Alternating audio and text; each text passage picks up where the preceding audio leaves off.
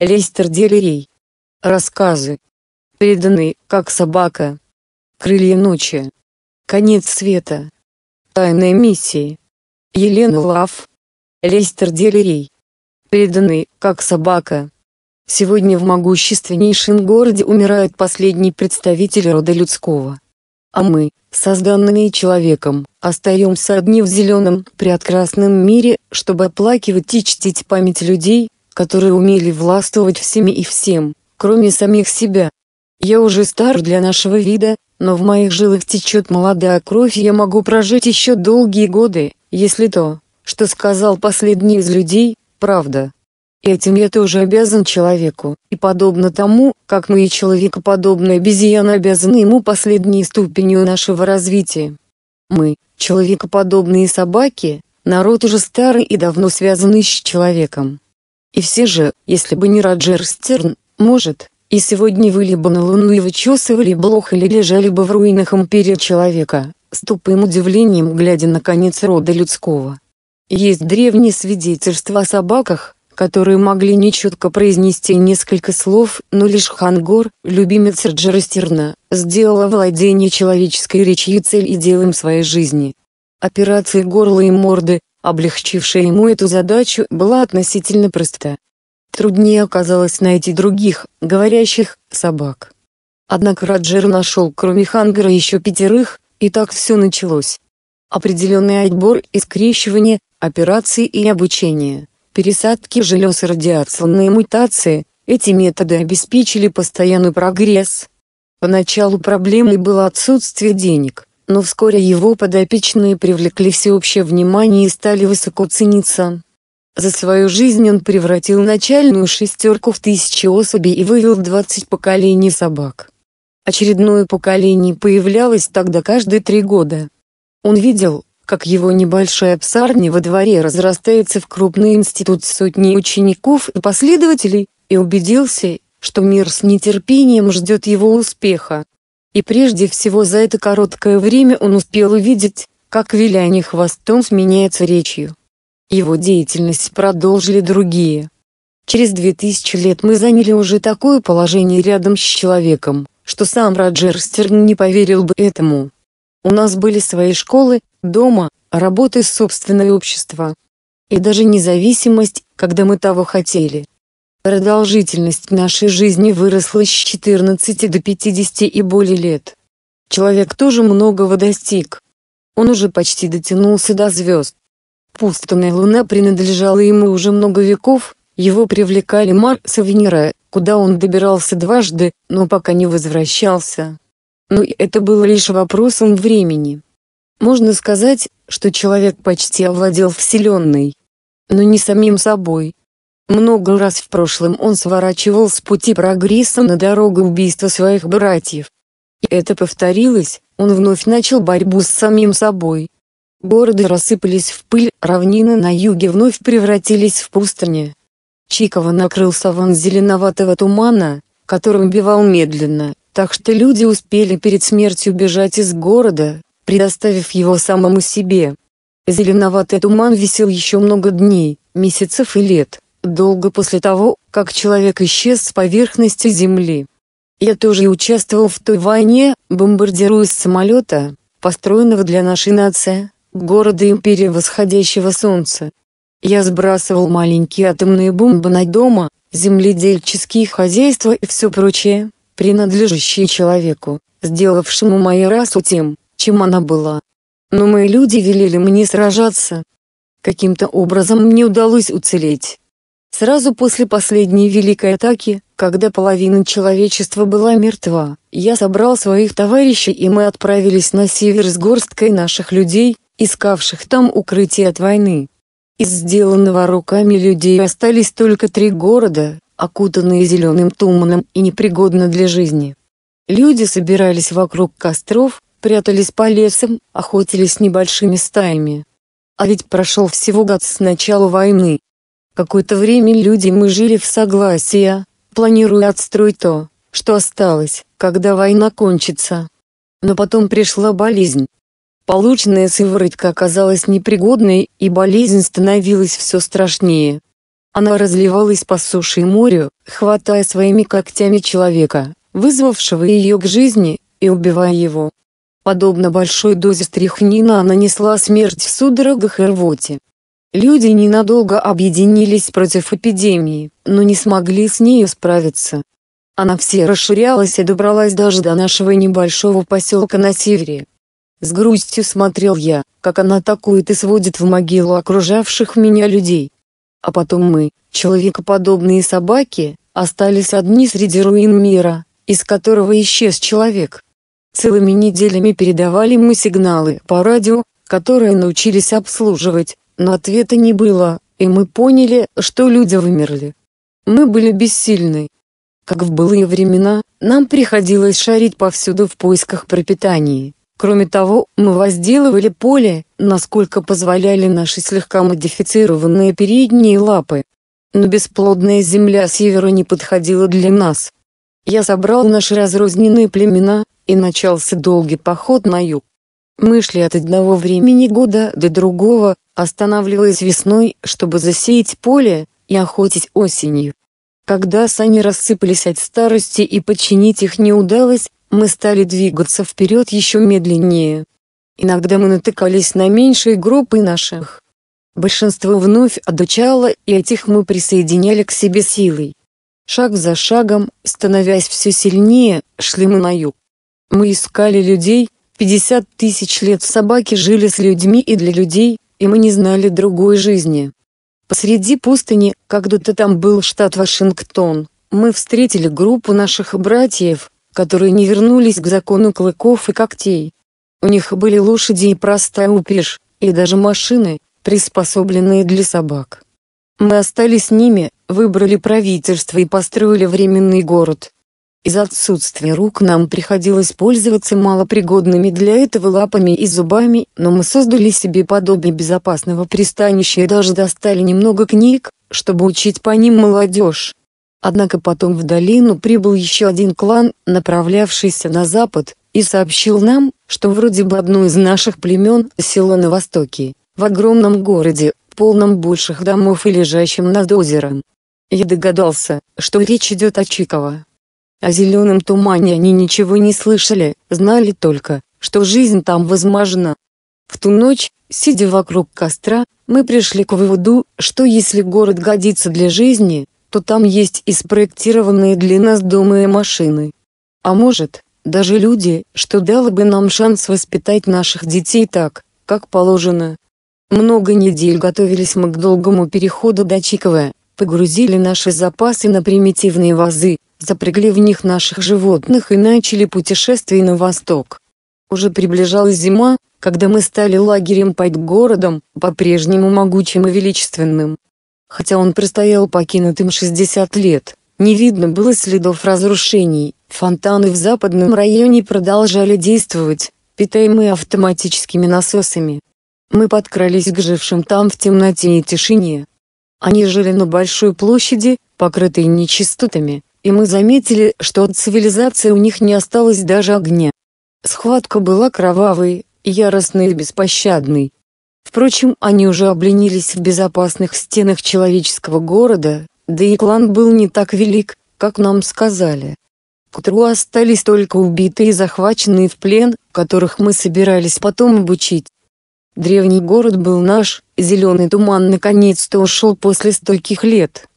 Теперь у нас было множество всякого добра, фабрики продуктов, которые я умела обслуживать, машины, который человек приспособил к нашим потребностям, дома, в которых мы могли жить, энергии из атомного ядра, которую можно было освободить щелчком выключателя. Даже без рук мы могли жить здесь с удобствами и в безопасности многие века. Может, наконец теперь сбудется моя мечта о приспособлении наших лап к инструментам по работе человека, даже если нигде не удастся найти людей. Мы почистили город и поселились в южном районе, предназначенном для нашего общества. С помощью нескольких старших коллег, отцы которых воспитывались в духе, установленном человеком, я вел новые порядки и запустил большие машины, дающие воду и свет. Мы вернулись к спокойной жизни. И вдруг через несколько месяцев один из моих заместителей привел ко мне Паули Кеннина. Человека, настоящего человека после столь долгого перерыва. Он улыбнулся, а я жестом удалил своих товарищей из комнаты. Я заметил свет. Объяснил он. И сначала подумал, что вернулись какие-то люди, хоть это и невозможно. Однако у цивилизации еще есть продолжатели, поэтому я попросил одного из вас отвести меня к вождям. Приветствую от имени того, что осталось от человечества. Приветствую. Выдавил я. Это было как возвращение богов. Мне не хватало дыхания, на меня сошел великий покой и умиротворение. Приветствую, и пусть тебя благословит наш Бог. Я уже потерял надежду увидеть когда-нибудь человека. Он покачал головой. Я последний человек, оставшийся в живых. Пятьдесят лет искал я людей, но напрасно. Вижу, вы неплохо справляетесь. Я бы хотел остаться с вами и помочь вам в работе, насколько хватит моих сил. Мне удалось пережить болезнь, но иногда случаются рецидивы, в последнее время все чаще. И тогда я лежу слабый и безвольный. Потому я к вам и пришел. Странно, сказал вдруг он. Мне кажется, я тебя знаю. Хангор Беульф 14. Я Пауль Кеннин, может, помнишь? Нет? Ну что ж, это было давно, и ты был очень молод. Может, мой запах изменился из-за болезни. Но у тебя по-прежнему эта белая полоса под глазом, и я тебя помню. Чего еще нужно было мне для полного счастья? Так у нас появились руки, и они нам очень пригодились. Но прежде всего Кенниан был представителем рода человеческого и придавал цель нашим усилиям. Однако у него часто бывали приступы болезни, и тогда он лежал в судорогах, отнимавших у него силы на много дней. Мы научились ухаживать за ним и приходить на помощь, а также составлять ему компанию. Однажды он обратился ко мне с предложением. «Хангор», — сказал он, — «если бы тебе пообещали выполнить одно желание, чего бы ты пожелал?» Возвращение людей из старых добрых времен, когда мы работали вместе. Ты сам знаешь, как нужен нам человек. Он невесело улыбнулся. Теперь скорее мы нужны человеку. А если бы это оказалось невозможно, чего бы ты пожелал во вторую очередь? Рук, сказал я. Я мечтаю о них днем и ночью, но, наверное, напрасно. Может, и нет, Хангор.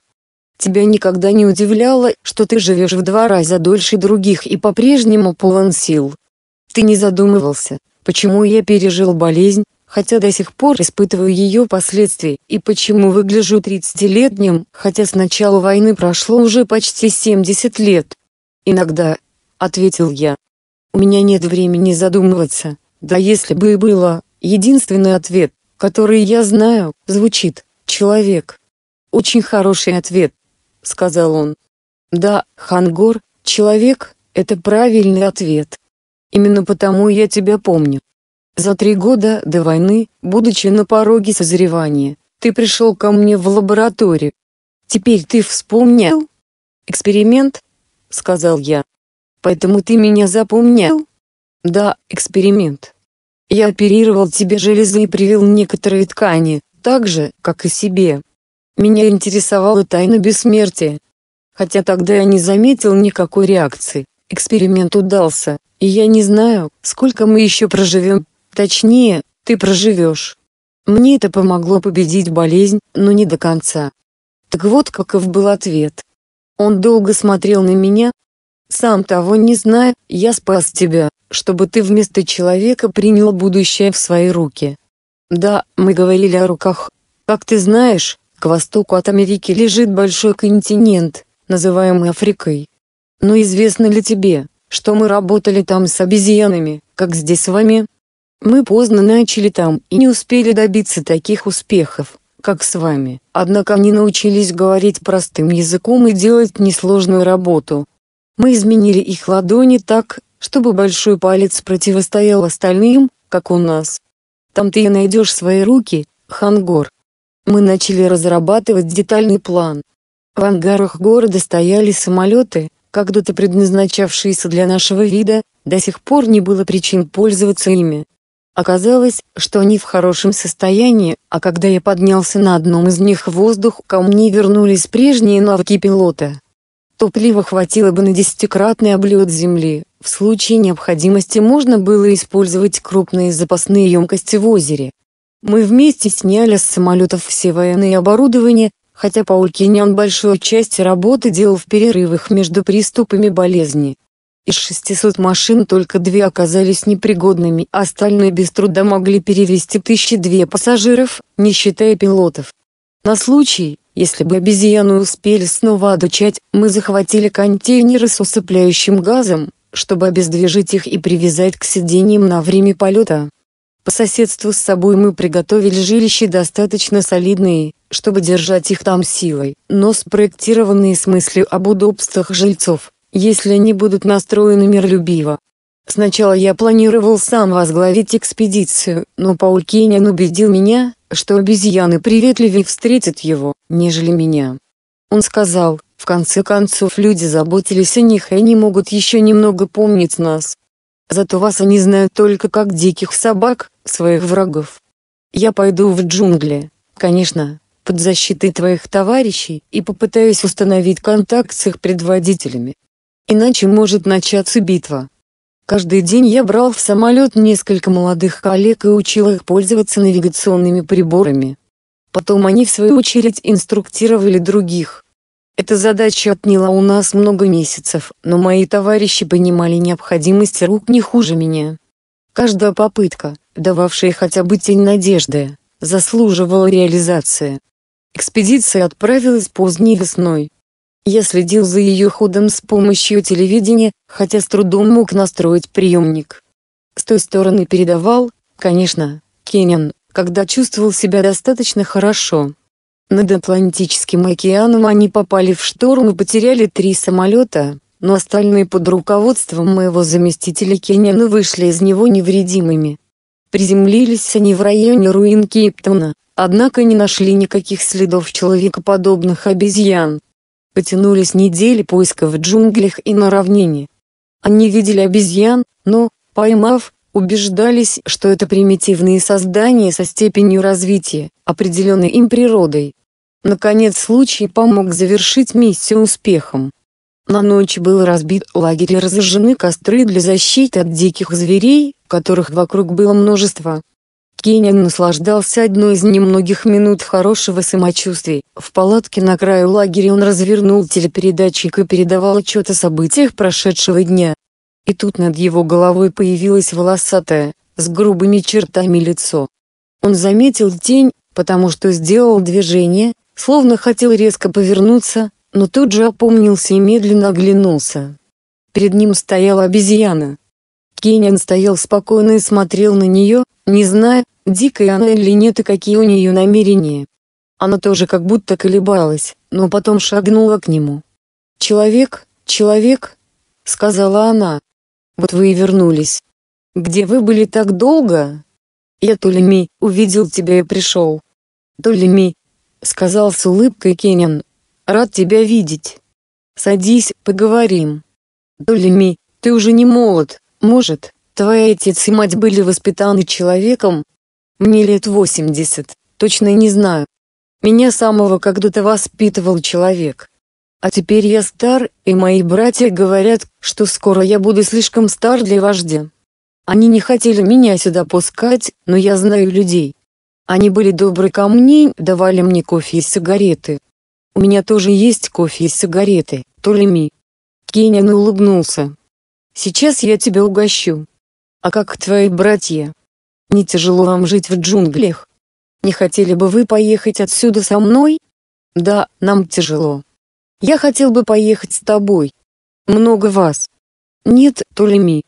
Кеннин поставил кофе перед обезьяной, которая с жадностью его выпила, после чего осторожно прикурила сигарету от огня. Нет, но я взял сюда с собой друзей. Приводи своих братьев, и все мы познакомимся. Много вас осталось? Много. Десять раз по десять десятков, почти тысяча. Только мы уцелели после Великой войны. Люди освободили нас, я вывел своих братьев из города, и мы пошли в джунгли. Сначала мы хотели жить небольшими племенами, но я не допустил этого, и теперь мы в безопасности. Но с кормежкой плохо. В нашем городе много продуктов, Толеми, и есть друзья, которые помогут вам, если вы будете работать. Помнишь человекоподобных собак, правда? Хотели бы вы работать с ними, как прежде с людьми, при условии, что они будут к вам хорошо относиться, кормить и учить. Собаки? Я помню собак, похожих на человека. Они были хорошие. Но здесь собаки плохерее. Я даже почуял запах собак. Он был не таким, который я знаю, и я не поверил своему носу. Я могу работать с этими собаками, но моим братьям потребуется время, чтобы привыкнуть. Следующие телепередачи свидетельствовали о быстром прогрессе. Я видел, как обезьяны по двое, по трое приходят познакомиться с Паулем Кеннином, который давал им еду и представлял им моих товарищей. Это шло медленно, но по мере того, как одни избавлялись от страха перед ними, других было легче убедить. Только несколько ушли и больше не вернулись. Цигареты, которые человек так любил и которых мы никогда не касались, оказали огромную помощь, ибо обезьяны учились курить с большим рвением. Прошли месяцы, а когда экспедиция вернулась, она привезла более 900 человекообразных обезьян, которых Пауль и сразу начали обучать. Прежде всего мы подвергли Тольми всестороннему врачебному осмотру и обнаружили, что он находится в добром здравии, его жизненные силы чересчур велики для его возраста. Человек продлял жизнь его вида, так же как нашего, и явно добился полного успеха. Теперь они с нами более трех лет и за это время научились пользоваться руками.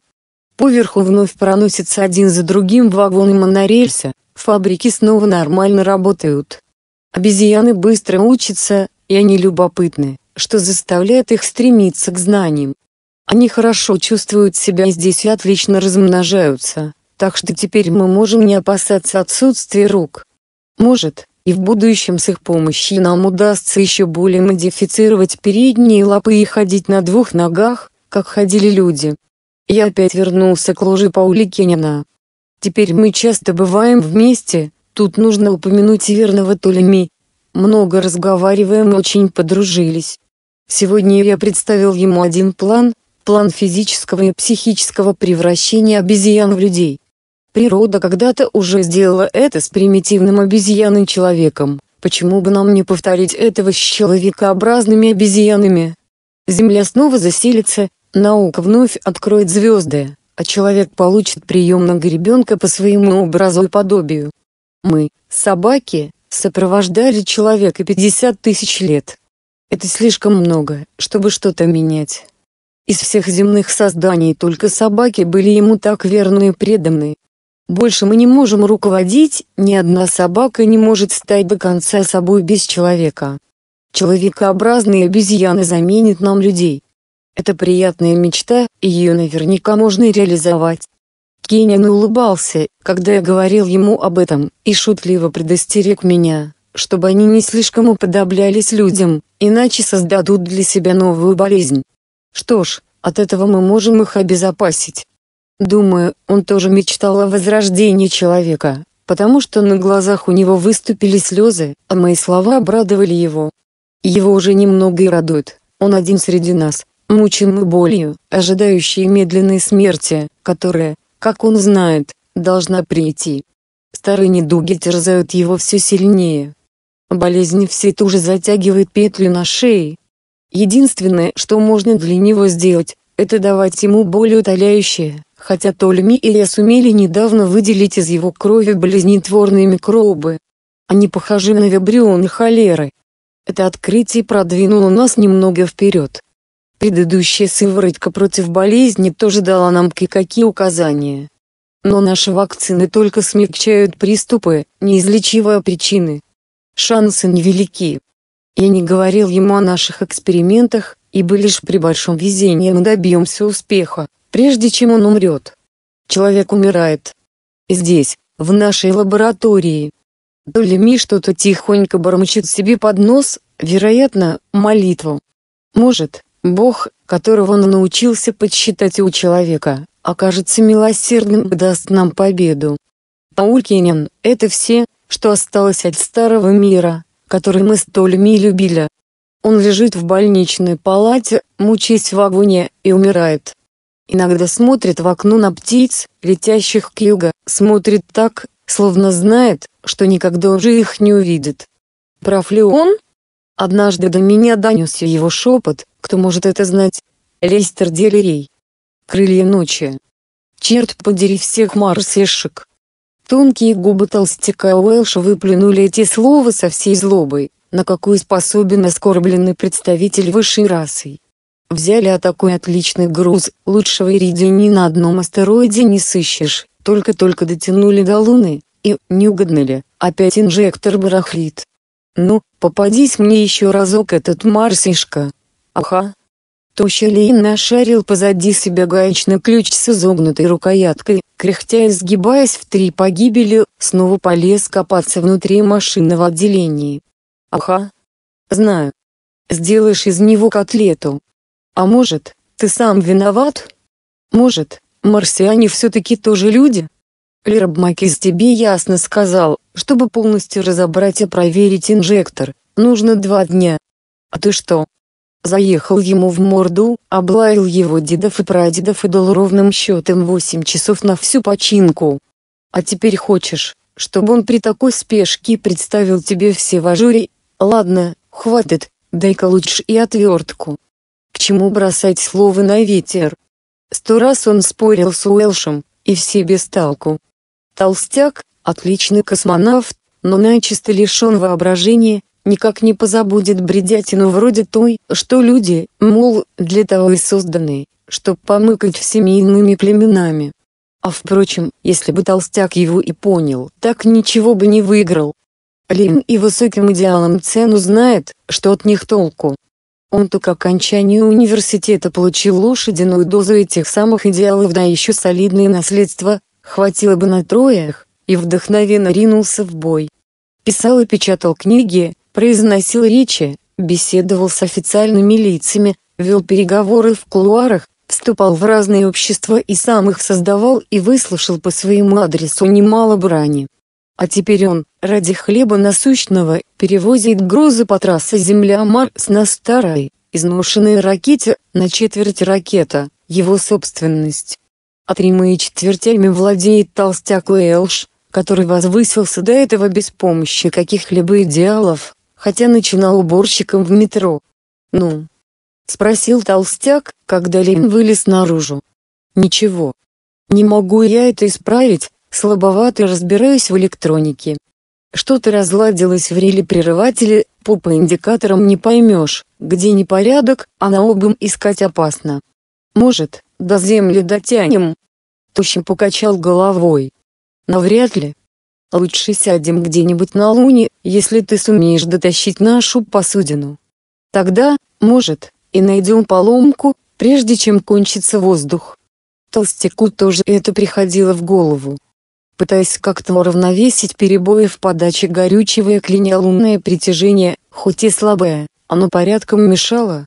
Он повел ракету к намеченному месту, посреди небольшой равнины он высмотрел на редкость чистую и гладкую площадку, без каменных обломков и выбоин. «Пора бы тут устроить аварийную станцию», — пробурчал он. «Когда-то станция была», — сказал Лейн. Но ведь на Луну никто не летает, и пассажирским кораблям тут садиться незачем. Проще выпустить закрылки и сесть в земной атмосфере, чем тратить здесь горючее. А грузовики вроде нас не в счет. Странно, какая неровная и чистая эта площадка, мы в миле, не выше, и ни одной метеоритной царапинки не видно. Стало быть, нам повезло. Не хотел бы я шлепнуться в какой-нибудь кратеришко и сбить дюзу или пропороть обшивку, Толстяк взглянул на высотомер и на указатель скорости спуска. Мы здорово грохнемся. Если, эй, что за черт? Тоща Лейн вскинул глаза на экран, в тот миг, как они готовы были удариться о поверхность, ровная площадка раскололась надвое. Половинки плавно скользнули в стороны, и ракета стала медлительно опускаться в какой-то кратер, он быстро расширялся, дна не было видно, рев двигателей вдруг стал громче а экрану верхнего обзора показали, что над головой опять сошлись две прозрачные пластины. Веря не веря собственным глазам, Лейн уставился на указатель высоты. Опустились на 160 миль и попались в ловушку. Судя по шуму, тут есть воздух. Что за капкан, откуда он взялся? Бред какой-то. Сейчас не до того. Обратно не проскочить, пойдем вниз, а там разберемся. Черт, неизвестно еще, какая внизу площадка. В таких вот случаях очень кстати, что толстяк не страдает избытком воображения. Делает свое дело, опускается в Исполинском кратере, будто на космодроме в Йорке, и занят только неравномерностью вспышек из-за барахлящего инжектора, а что ждет на дне, ему плевать. Тощий удивленно посмотрел на толстяка, потом вновь уставился на экраны, может, удастся понять, кто и зачем построил этот капкан. Лен лениво поворошил кучку песка и слевшего сланца, выудил крохотный красноватый камешек, с первого раза незамеченный, и медленно поднялся на ноги. Спасибо великим, очень вовремя они послали ему осыпь, старые грядки столько раз перерыты, что уже совсем истощились. Чуткими ноздрями он втянул запах магния, немножко пахло железом, и серы тут сколько угодно, все очень-очень кстати. Правда, он-то надеялся найти медь, хоть щепотку. А без меди, он отогнал эту мысль, как отгонял уже тысячи раз, и подобрал грубо сработанную корзину, набитую камешками пополам с лишайником, которым заросла эта часть кратера. Одной рукой растер в пыль осколок выветрившегося камня заодно с клочком лишайника и все вместе отправил в рот. Благодарение великим за эту осыпь. Приятно ощущать на языке душистый магний, и лишайник тоже вкусный, сочный, потому что почва вокруг не истощенная. Если бы еще хоть крупицу меди, больше желать нечего. Лен печально вильнул гибким хвостом, крякнул и побрел назад, к себе в пещеру, мельком глянул вверх, на далекий свод. Там, наверху, за много миль, ослепительно сверкал луч света, постепенно слабее и тускнее, слой за слоем пронизывал воздух. Значит, долгий лунный день близится к полудню, скоро солнце станет прямо над сторожевым шлюзом, и луч будет падать отвесно.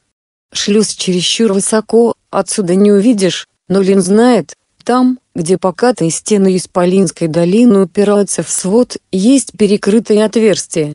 Долгие тысячелетия вырождалось и вымирало племя Лина, а свод все держится, хоть опорой ему служат только стены, образующие круг около 50 миль в поперечнике, неколебимые, куда более прочные, чем сам кратер, единственный вечный памятник былому величию его народа.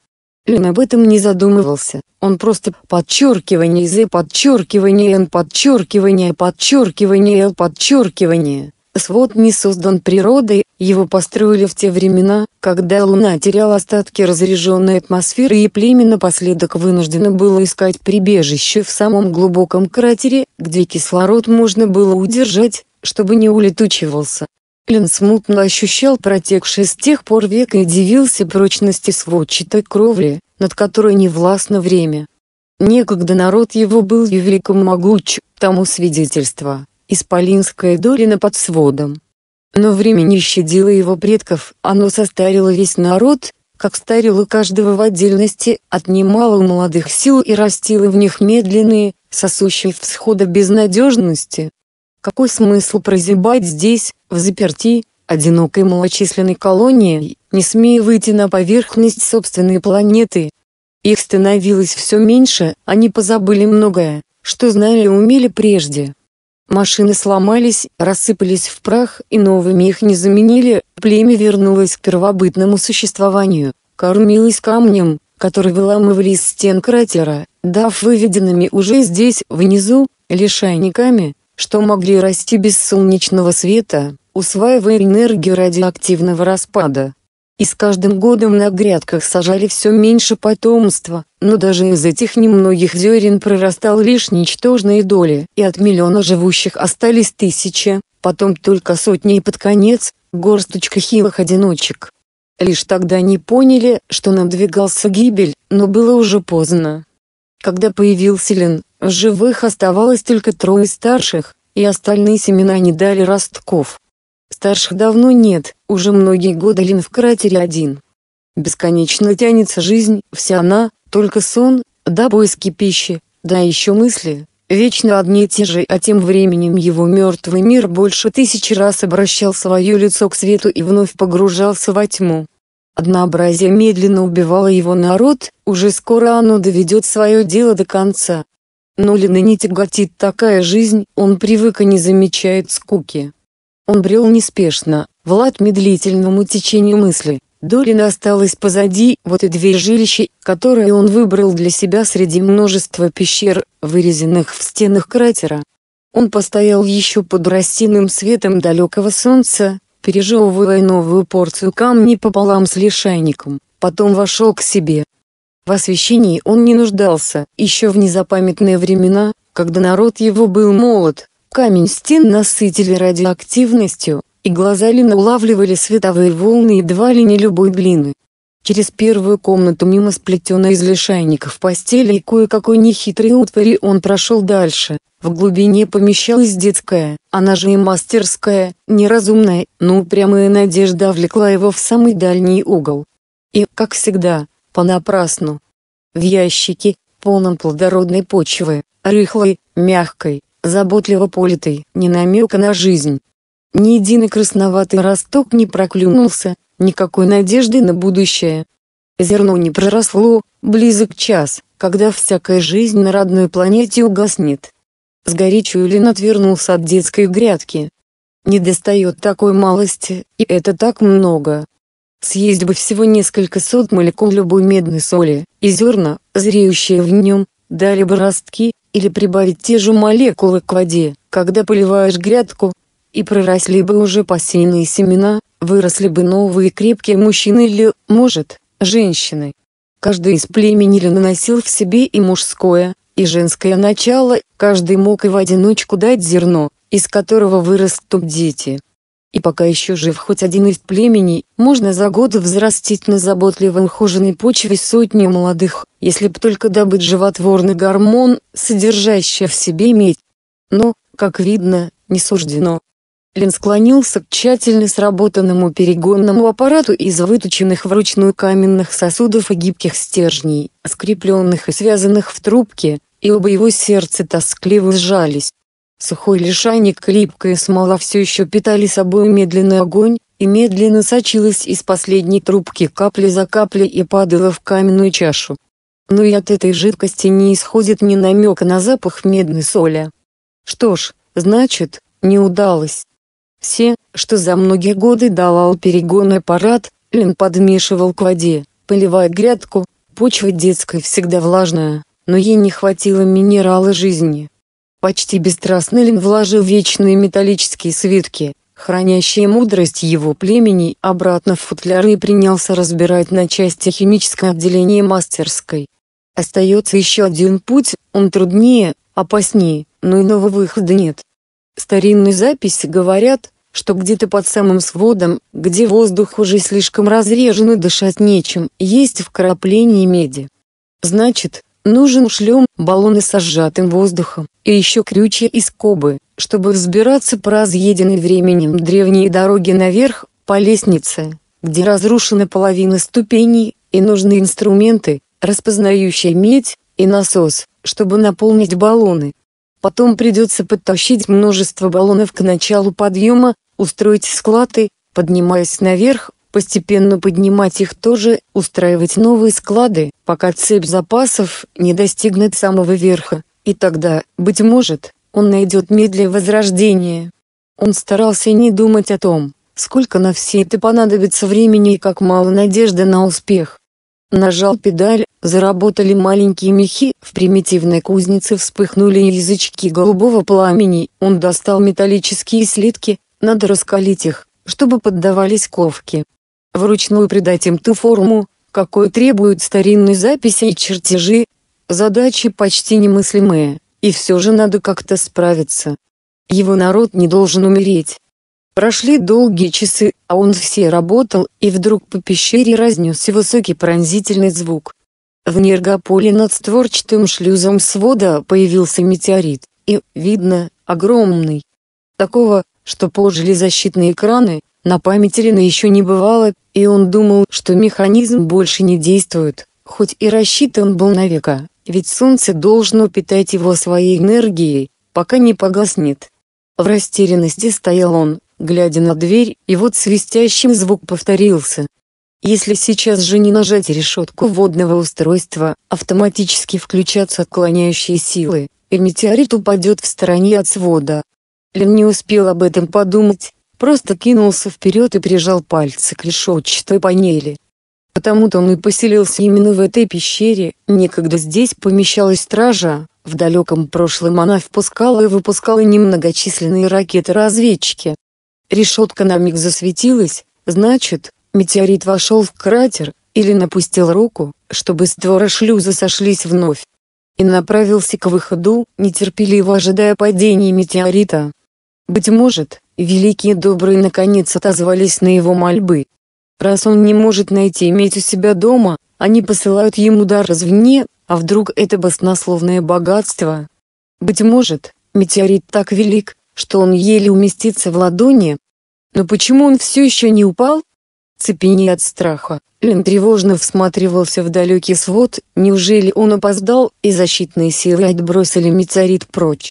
Нет, вон блеснул огонек, но не так должен бы вспыхнуть такой большой метеорит, врезаясь в сопротивляющийся воздух. До слуху наконец донесся сверлящий, прерывистый вой, метеорит должен бы звучать совсем иначе. В недоумении Лин всмотрелся еще пристальней, да, вот он, гость, а падает стремглав, а опускается неторопливо, и яркий свет не угасает позади, а обращен вниз. Но это значит, это может означать только одно – разумное управление. Ракета. На миг у Лины все смешалось в голове, уж не возвращаются ли предки из какого-то другого, неведомого убежища. Или сами великие решили его посетить. Но, привыкший рассуждать здраво, он отверг это нелепые догадки. Не могла такая машина прилететь из безжизненных лунных пустынь, а только со сказочной планеты, что находится под его родным миром, либо с тех, которые обращаются вокруг Солнца по другим орбитам. Неужели там есть разумная жизнь? Он мысленно перебирал в памяти записи, оставшиеся со времен, когда предки, пересекая космос, летали к соседним планетам, задолго до того, как было построено убежище в кратере. Основать там колонии не удалось, непомерно велика оказалась сила тяжести, но космонавты подробно осмотрели другие миры. На второй планете жили только чешуйчатые твари, скользящие в воде, да причудливые папоротники на редких клочках суши, на планете, вокруг которой обращается его родной мир, кишели исполинские звери, а сушу покрывали растения, глубоко уходящие корнями в почву. На этих двух не нашлось ни следа разума.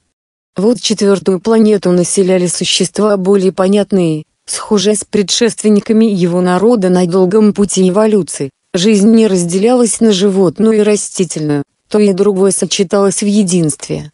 Шарообразные комочки живого вещества, движимые инстинктом, уже стягивались в стайки, но еще не могли общаться друг с другом. Да, из всех известных миров, вероятнее всего, именно там развился разум. Если же каким-то чудом ракета все-таки прилетела с третьего мира, надеяться ни на что, слишком он кровожаден, это ясно из древних свитков, на каждом рисунке свирепые чудища, огромные, как горы, раздирают друг друга в клочья. Лен слыхал, как опустился где-то поблизости корабль, и, полный страхов и надежд, направился к нему, туго свернув хвост за спиной. Увидав у открытого люка двух пришельцев, он тотчас понял, что ошибся. Эти существа сложены примерно так же, как он, хотя гораздо крупнее и массивнее. Значит, с третьей планеты. Он помедлил, осторожно наблюдая, они озираются по сторонам и явно рады, что тут есть чем дышать. Потом одно что-то сказала другому. Новое потрясение. Оно говорит внятно, интонация явно разумны, но сами звуки – бессмысленное лопотанье. И это – речь?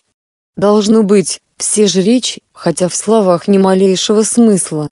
Впрочем, как там, в старинных записях, Славольнодумец полагал, будто в древности у жителей Луны не было речи, они сами изобрели звуки и каждый наделили значением, и лишь после долгих веков привычка к звуковой речи преобразилась в инстинкт, с которым младенец рождался на свет, вольнодумец даже подвергал сомнению ту истину, что сами велики предусмотрели речь, осмысленные звуки как неизбежное дополнение к разуму. И вот, кажется, он был прав. Ощупью пробиваясь в тумане нежданного открытия, Лен собрал свои мысли в направленный луч. И опять потрясение. Умы пришельцев оказались почти непроницаемы, а когда он наконец нашел ключ и начал нащупывать их мысли, стало ясно, что они его мысли читать не могут. И однако они разумны. Но тот, на котором он сосредоточился, наконец его заметил и порывисто ухватился за второго. Слова по-прежнему были корявые, нелепые, но общий смысл сказанного человек словно уловил. Толстяк, это что такое? Второй пришелец обернулся и уставился на подходящего к ним Лена. Не поймешь. Какая-то сухопарая обезьяна в три фута ростом. По-твоему, она не опасная? Навряд ли. Может быть, даже разумная. Этот купол наверняка сработал не какая-нибудь горсточка переселенцев, сразу видно, постройка нечеловеческая. Эй! Обратился к лунному жителю пришелец, который мысленно называл себя тощим, хотя с виду был большой и плотный. «Ты кто такой?» «Лин», — ответил тот, подходя ближе, и ощутил в мыслях тощего удивления и удовольствия. «Лин». «Я, Лин». «Пожалуй, ты прав, тощий», — проворчал толстяк. «Похоже, он тебя понимает». Любопытно, кто прилетел сюда и обучил его говорить по-людски. Лин немного путался, не сразу удавалось различить и запомнить значение каждого звука. Не понимает людский. Никто прилетал сюда. Вы? Дальше слов не хватило, он шагнул поближе, показывая на голову тощего на свою. К его удивлению, Тощий понял. Видимо, он читает наши мысли. Это телепатии. Ишь ты. Марсешки тоже толкуют, будто они таким манером друг друга понимают. А вот чтоб они у человека мысли прочитали, я ни разу не видал. Они толкуют, будто у нас мозги как-то не так открываются. Может, это обезьяна или этот, тебе все врет. Ну, вряд ли. Посмотри-ка на тестер, вон какая радиоактивность. Если бы здесь побывали люди и вернулись, об этом бы уже всюду кричали. Кстати, его зовут Нирим, больше похоже на Лин, а по-настоящему нам не выговорить. Он послал мыслену, и тот послушно повторил свое имя. Видишь? У нас «Л» — плавный звук, а у него взрывной. А согласный на конце он произносит как губный, хотя и похоже на наш зубной. В нашей речи таких звуков нет. Интересно, насколько он разумен? Не успел Лин составить подходящий ответ, как Тощий нырнул в люк корабля и через минуту вернулся с пакетиком под мышкой. «Космический разговорник», — объяснил он толстяку. «По таким сто лет назад обучали марсиан». И обратился к Лину. Тут собрано 600 самых ходовых слов нашего языка и расположены так, чтобы как можно легче их постепенно усвоить. Смотри на картинки, а я буду говорить и думать слово. Ну-ка, один, два, понимаешь? Толстяк Уэлш некоторое время смотрел и слушал отчасти потешался, но скоро ему это надоело. «Ладно, Тощи, можешь еще понянчиться со своим туземцем, вдруг узнаешь что-нибудь полезное? А пока ты не принялся за ремонт, я пойду осмотрю стены, любопытно, что тут есть радиоактивного. Эх, жаль, на наших грузовиках передатчики никудышные, вызывай не вызывай, далеко не услышат и он побрел прочь, но Лена и Тощи этого даже не заметили. Они поглощены были нелегкой задачей, найти средства общения, казалось бы, за считанные часы, при совсем разном жизненном опыте это неосуществимо. Но как ни странно были чужие звуки и сочетания слов, как ни причудливо соединялись они в значимые группы, в конце концов, это была всего лишь речь. Алин появился на свет, уже владе речи чрезвычайно сложной, но для него естественной, как дыхание. Усиленно кривя губы, он один за другим одолевал трудные звуки и неизгладимо утверждал в мозгу их значение. Под конец толстяк, идя на голоса, отыскал их в пещере Лина, уселся и смотрел на них, точно взрослый на малыша, играющего с собакой. Не то чтобы Лин вызывал у него недоброе чувство, но и человеком толстяк его не считал, так, смышленное животное, вроде марсиан или дикарей с Венеры, ну, а если тощему угодно обращаться с ним как с равным, пускай покуда тешится. Лен смутно улавливал эти мысли, и еще другие, более опасные, но его слишком захватило общение с живым разумом, ведь почти столетие он провел в полном одиночестве. А было кое-что и поважнее. Он подергивал хвостом, разводил руками и усердно одолевал земные звуки, тощий, как мог, поспевал Таним. Наконец землянин кивнул, кажется, я понял. Все, кроме тебя, уже умерли, и тебе очень не по душе, что выхода никакого нет. Гмэм. Мне такое тоже бы не понравилось. И теперь ты думаешь, что эти твои великие, а по-нашему Бог послали нас сюда поправить дело. А как поправить? Лен просиял, лицо его сморщилось и скривилось от удовольствия, и он не сразу понял, что Тощий неверно истолковал эту гримасу. Намерения у Тощего добрые. Если он поймет, в чем нужда, он, пожалуй, охотно даст меди, ведь из древних записей известно, что третья планета богаче всех минералами. Нужен нра. Жизнь получается от того, что из многих простых вещей делается одна непростая. Воздух, что надо для питья, что надо для еды, это все у меня есть, и я живу. А чтобы начаться новой жизни, нужен нра. Он начало начал. Само зерно неживое, будет нра, оно оживет. Только у меня нет слова. С нетерпением он ждал, пока Тощий все это усвоит. Какой-то витамин или гормон, что ли? Вроде витамина Е6. Может, мы и могли бы его сделать, если... Лин кивнул. Да, конечно. Великие добрые. На обоих сердцах у него потеплело от мысли о многих заботливо укрытых про запас зернах, которые можно прорастить, была бы только желанно иметь. А теперь человек земли готов ему помочь. Еще немножко терпения, и все будет хорошо. Делать не надо. Весело пропищал он. Простая штука. Зерно или я, мы можем сделать внутри себя. Но для этого нам нужен нра. Смотри. Он взял камешки из корзины, размял в горсти, старательно разжевал и знаками показал, что у него внутри камень изменяется. Толстяк Уэлш заинтересовался, а ну, обезьяна, съешь еще? Лен охотно повиновался.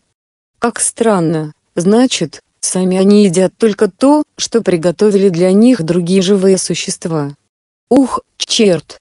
Он лопает камни, самые настоящие камни. Слушай, тощий, у него что же, зуб, как у птицы? И он их переваривает. Почитай-ка про марсианах, они были наполовину животные, наполовину растения, и у него, очевидно, обмен веществ идет так же. Вот что, Лин, как я понимаю, тебе нужен какой-то химический элемент. Натрий, кальций, хлор? Нет, этого всего здесь, должно быть, хватает. Может, иод. Гмэм. Он перечислил десятка-два элементов, которые, по его соображениям, могли как-то содействовать жизни, но меди среди них не оказалось, и в мысли лунного жителя понемногу закрадывался страх. Неужели этот странный барьер, мешающий им понимать друг друга, все погубит? Где же выход? И вдруг он вздохнул с облегчением. Ну конечно, общего слова нет, но структура химического элемента всюду одна и та же. Он торопливо перелистал разговорник, нашел чистую страницу и взял у землянина карандаш. Толстяк и Тощий смотрели во все глаза, Алин тщательно, начиная от центра, частицу за частицей, и вычертил строение атома меди, открытое великими физиками его народа. И они ничего не поняли. Тощим покачал головой и вернул листок. Насколько я догадываюсь, приятель, это схема как атомы, но тогда нам, на Земле, еще учиться и учиться. Он даже присвистнул. Толстяк скривил губы, если это атом, так я сапог в смятку. Пошли, тощий, уже время спать, а ты полдня валял дурака. И потом надо помозговать насчет этой самой радиации. Мы бы тут с тобой спеклись в полчаса, спасибо, надели походные нейтрализаторы, а обезьяне это, видно, только на пользу. И у меня есть одна идея. Тощий вышел из мрачного раздумья и посмотрел на часы. Ах, черт!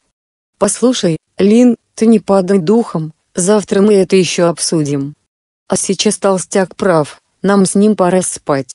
До скорого, приятель. Лин кивнул, на время прощаясь с ними на родном языке, и тяжело опустился на жесткое ложе. За дверью толстяк с жаром начал развивать некий план, как с помощью Лина добывать радиоактивные вещества. Послышался протестующий голос Тощего. Но Лину было не до того. Атом Медион, конечно, изобразил правильно, однако наука землян делает еще только первые шаги, они слишком мало знают о строении атома, им не разобраться в его чертежах. Писать химические формулы. Реакции, которые исключат один за другим все элементы, кроме меди. Будь они химиками, они, может, и поняли бы, но даже тощие знает слишком мало. И все же какой-то выход должен быть, разве что на Земле вовсе нет меди. Уж наверное, великие, которых земляне называют Богом, не отозвались бы на мольбы многих поколений злой насмешкой. Выход есть, и пока пришельцы спят, Лин его найдет, хотя бы в поисках ключа пришлось перерыть все древние свитки. Несколько часов спустя, вновь полный надежд, он устало брел по долине к земному кораблю, Найденное решение оказалось простым. Все элементы объединяются по семействам и классам. Тощи упоминал о натрии, даже по самым примитивным таблицам, какими, несомненно, пользуются на Земле, можно установить, что натрий иметь относится к одному семейству. А главное, по простейшей теории, наверняка доступной народу, уже строящему космические ракеты, атомный номер меди, 29. Оба люка были открыты, Лин проскользнул внутрь, безошибочно определяя направление по колеблющимся, смутным мыслям спящих людей. Дошел до них и остановился в сомнении. Он ведь не знает их обычаев, но уже убедился, то, что для его народа было истиной, далеко не всегда правильно для землян. Вдруг им не понравится, если он их разбудит? В нем боролись учтивость и нетерпение. Наконец он присел на корточки на металлическом полу, крепко сжимая древний свиток и принюхиваясь к окружающим металлам. Меди здесь не было, но он не надеялся так просто найти столь редкий элемент, впрочем, тут были такие, которых он совсем не мог определить. Должно быть, из тяжелых, какие на Луне почти не существуют. Толстяк что-то пробурчал, замахал руками, зевнул и сел, еще толком не проснувшись. Его мысли полны были кем-то с земли, в ком присутствовало женское начало, которого, как уже заметил Лин, оба гости были лишены, и еще тем, что станет делать он, толстяк, когда разбогатеет. Лин живо заинтересовался изображениями этой мысли, но потом спохватился, тут явно секреты, не следует в них проникать без спроса. Он отвел свой ум, и тогда-то землянин его заметил. Спросонья толстяк Уэлш всегда бывал не в духе. Он вскочил, зашарил вокруг в поисках чего-нибудь тяжелого. «Ах ты, подлая обезьяна!» Взревел он. «Чего шныряешь? Вздумал нас прирезать?» Лин взвизгнул и увернулся от удара, который расплющил бы его в лепешку. Непонятно, в чем он провинился, но безопаснее уйти. Физический страх был ему не знаком, слишком много поколений жило и умерло, не нуждаясь в этом чувстве. Но его ошеломило открытие, что пришельцы способны убить мыслящее существо. Неужели на земле жизнь ничего не стоит? Эй, брось. Прекрати. Шум разбудил Тощего, Лен мельком оглянулся, Тощий сзади схватил толстяка и не давал шевельнуть рукой. Полегче, слышишь? Что у вас тут? но толстяк уже окончательно проснулся и остывал. Выпустил из рук металлический брус, криво усмехнулся. Сам не знаю. Может, он ничего худого и не задумал, только я проснулся, вижу, он сидит, пялит на меня глаза, а в руках железка, ну, мне и показалось, он хочет перерезать мне глотку или вроде того. Я уже очухался. Поди сюда, обезьяна, не бойся. Тощий выпустил его и кивнул Лину. «Да-да, приятель, не уходи. У толстяка свои заскоки насчет людей и не людей, но в общем-то он добрый. Будь хорошей собачкой, и он не станет пинать тебя ногами, даже за ухом почешет. Чушь. Толстяк ухмылялся, добродушие вернулось к нему. Он понимал, что тощий острит, но не обижался. Марсешки обезьяны, ясно, они не люди, с ними разговор другой, ничего плохого тут нет. Что ты притащил, обезьяна? Опять картинки, в которых никакого смысла нету. Лин кивнул, подражая их жесту, означающему согласие, и протянул свиток тощему. Толстяк держится уже не враждебно, однако не ясно, чего от него ждать, а тощему, видимо, интересно. Надеюсь, в картинках много смысла. Вот НР, 29, под натрием. Периодическая таблица, сказал тощий толстяку. По крайней мере, похоже. Дай-ка мне справочник. ГММ. Под натрием, номер 29. Натрий, калий, медь. 29. Все правильно. Это оно и есть, Лин? Глаза Лина сверкали от торжеством. Благодарение великим. Да, это медь. Может быть, у вас найдется хотя бы один грамм. Пожалуйста, хоть тысячу граммов. По твоим понятиям, у нас ее до отвала. Бери сколько угодно. И тут вмешался толстяк. Ясно, обезьяна, у нас есть медь, если это ты по них ныкал. А чем заплатишь? Заплатишь. Ясно. Что дашь в обмен? Мы помогаем тебе, а ты нам, справедливо. Лену это не приходило в голову. Но как будто справедливо. Только что же он может им дать? И тут он понял, что у землянина на уме. Заметь ему, Лену, придется работать, выкапывать и очищать радиоактивные вещества, с таким трудом созданные в пору, когда строилось убежище, вещества, дающие тепло и свет, нарочно преобразованные так, чтобы утолять все нужды племени, которому предстояло жить в кратере. А потом работать придется его сыновьям и сыновьям сыновей, добывать руду, выбиваться из сил ради земли, и за это им будут платить медью, в обрез, только-только чтобы земли хватало рудокопов. Мозг толстяка снова захлестнули мечты о том земном создании, и ради этого он готов обречь целый народ прозябать без гордости, без надежд, без совершений. Непостижимо. На земле так много людей, для чего им обращать Лена в раба? И рабство – это еще не все. В конце концов земля присытится радиоактивными материалами, либо, как невеликие запасы, они иссякнут, и нечем будет поддерживать жизнь, так или иначе, впереди гибель. Лен содрогнулся, Слишком страшный навязывают выбор. Тощий опустил руку ему на плечо. Толстяк немного путает, Элин. Верно, толстяк. Пальцы тощего сжимали что-то. Оружие. Смутно понял Элин. Второй землянин поежился, но усмешка не сходила с его лица. Дурень ты, тощий. Чокнутый. Может, ты веришь в эту дребедень, что все люди не люди равны, ну не убьешь же ты меня из-за этого. Я человек старых взглядов, я свою медь за даром не отдам. Тощий вдруг тоже усмехнулся и спрятал оружие. Ну и не отдавай. Лин получит мою долю. Меди у нас вдосталь, без некоторых вещей мы вполне обойдемся. И не забывай, четверть всего, что есть на корабле, моя. На это в мыслях толстяка не нашлось ответа.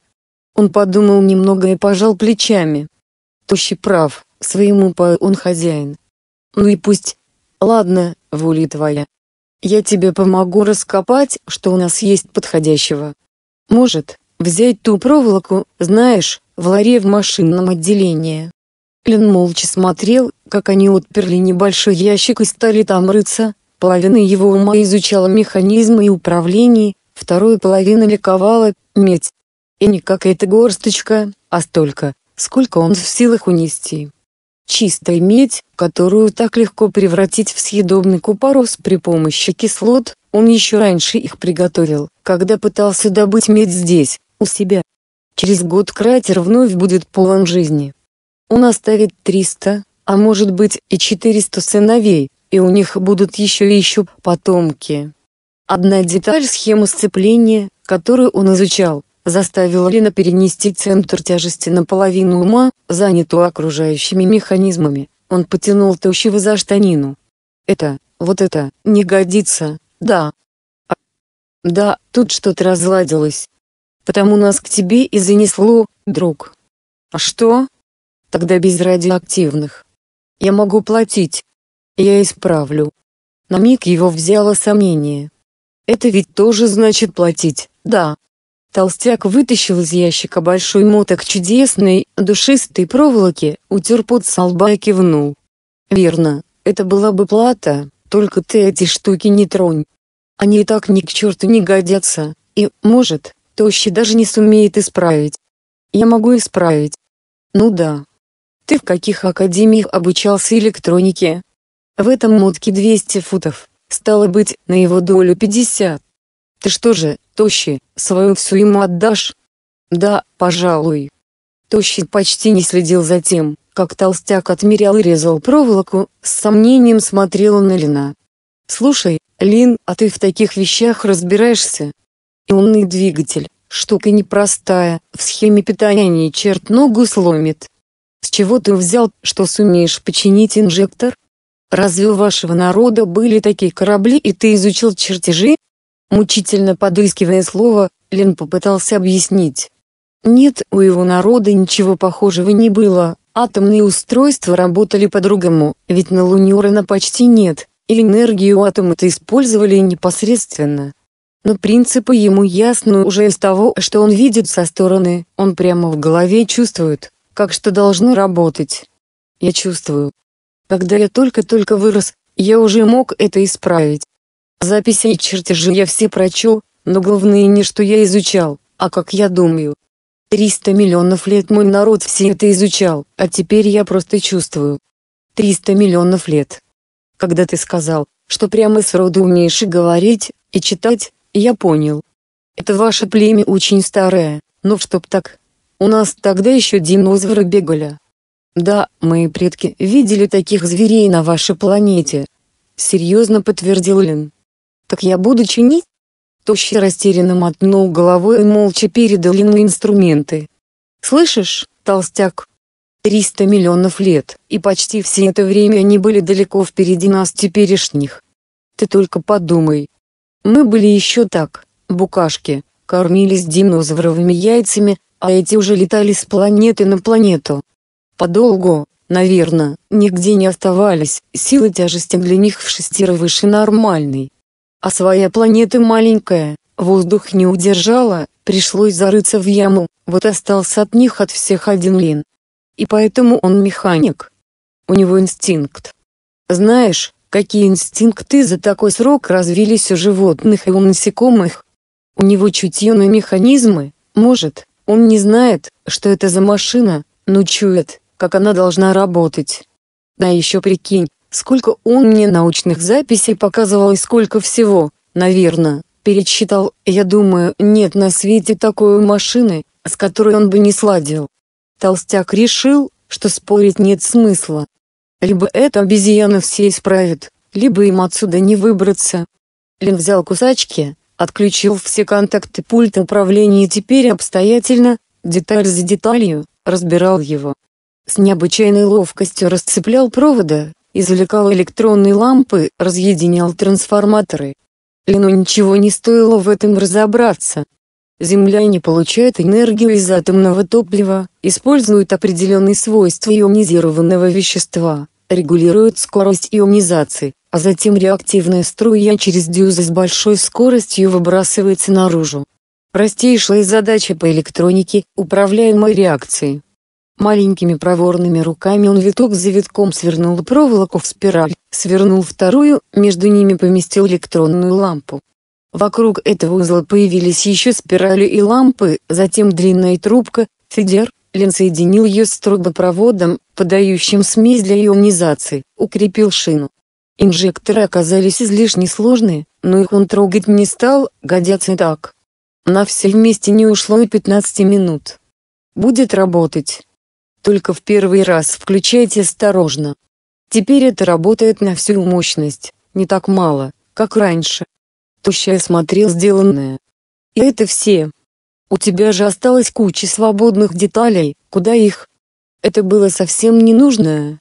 Очень плохое. Теперь хорошо. Илин старательно объяснил Тощему, как будет работать новая конструкция. Прежний мог объяснить только опытный специалист, отлично владеющий сложной терминологией. Но то, что вышло сейчас из рук Лена, было плодом знания, оставившего далеко позади неуклюжие сложности первых робких попыток. Если что-то надо сделать, это делается как можно проще. Теперь тощий, только диву давался, почему люди так не сделали с самого начала. И как ему было не удивляться, когда все вдруг оказалось просто ясно, он кивнул. Отлично. Вот это да, толстяк. Коэффициент полезного действия примерно 99,99%, а раньше и у нас было не больше 20. Ты молодчина, Элин. Толстяк ничего не понимал в электронике, но объяснения Лина прозвучали убедительно, говорить больше ни о чем. И он направился к рубке. «Ладно, значит, отбываем. До скорого, обезьяна». Тощим подобрал медную проволоку, подал Лину и проводил его к люку. Лунный житель вышел из корабля, поднял голову к закрывающемуся люку и старательно улыбнулся на земной манер. «Я открою створ и выпущу вас. Я вам заплатил, и все справедливо, так? Тогда, до скорого, тощей. Да полюбит тебя великий за то, что ты вернул мне мой народ. Проще, отозвался Ритощий и помахал рукой. Может, мы еще когда-нибудь тебя навестим, посмотрим, как ты тут процветаешь. Люк закрылся. И вот он снова у себя в пещере, нежно гладит медную проволоку и ждет грома ракетных двигателей, ему радостно, и тревожно. Медь – это счастье, но мысли, которые он прочел у толстяка, сильно его смущают. Что ж, меди хватит для многих поколений, а что будет дальше с его народом, это во власти великих. Он вышел за дверь и смотрел, как уносится вверх теперь уже не мигающий, уверенный огонек, унося с собой судьбу его племени. Если эти двое расскажут на земле о радиоактивных камнях, впереди рабство и гибель. Если промолчат, быть может, его племя возродится к прежнему величию и вновь отправится на другие планеты, когда-то, еще в пару своего расцвета. Лунный народ от этих попыток отказался, но ведь теперь на других мирах его встретят не дикие джунгли, а жизнь и разум. Быть может, когда-нибудь, владея древним знанием, покупая на других планетах вещества, которых нет на Луне, потомки даже найдут способ вернуть родному миру былое великолепие. Не об этом ли мечтали предки, пока ими не овладела безнадежность и не простерлись над его народом крылья ночи? Лин смотрел вверх, ракета поднималась над ним по спирали, то заслоняя, то вновь открывая просвет в вышине, равномерная смена тени и света, будто мерные взмахи крыльев в незапамятные дали времен когда воздух над луной был еще полон летучих существ. Наконец черные крылья достигли свода, Лен открыл шлюз, они скользнули наружу и стало совсем светло, быть может, это предзнаменование. Но как сказать, доброе или дурное?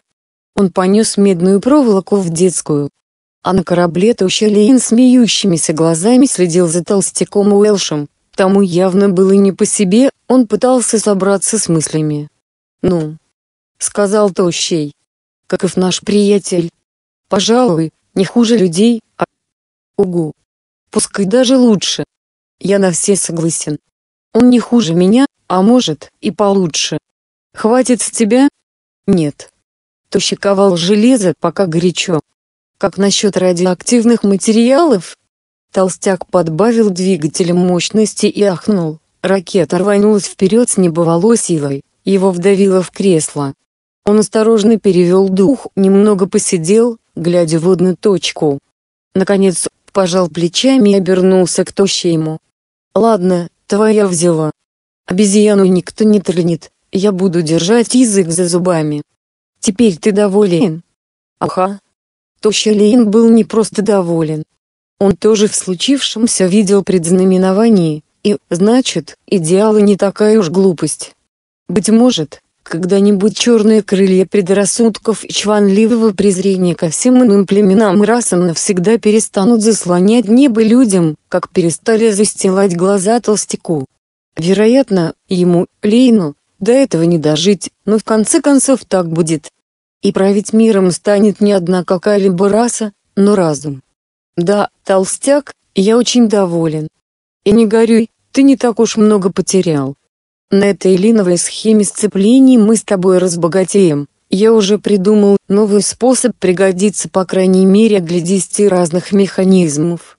Что ты станешь делать со своей долей? Толстяк расплылся в улыбке. Начну валять дурака. Помогу тебе снова здорово взяться за твою пропаганду, будем вместе летать по свету и целоваться с марсишками да с обезьянами. Любопытно, про что сейчас думает наша обезьянка? Алин в эти минуты ни о чем не думал, он уже решил для себя загадку противоречивых сил, действующих в уме толстяка, и знал, какое тот примет решение. Теперь он готовил медный купорос и уже провидел рассвет, идущий на смену ночи. Рассвет всегда прекрасен, а этот – просто чудо. Лестер Делерей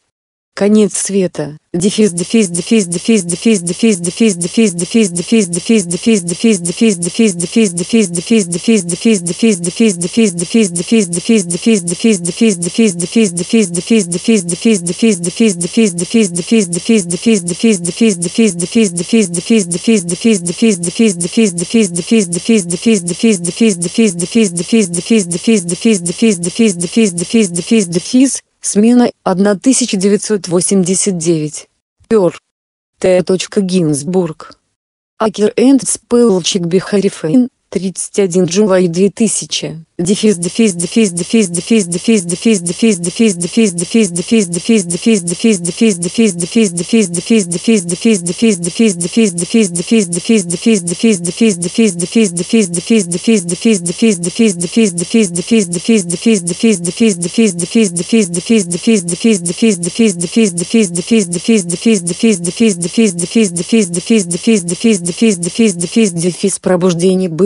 наполнено страхом но попытки вернуться в прежнее полное небытие и оказались тщетными.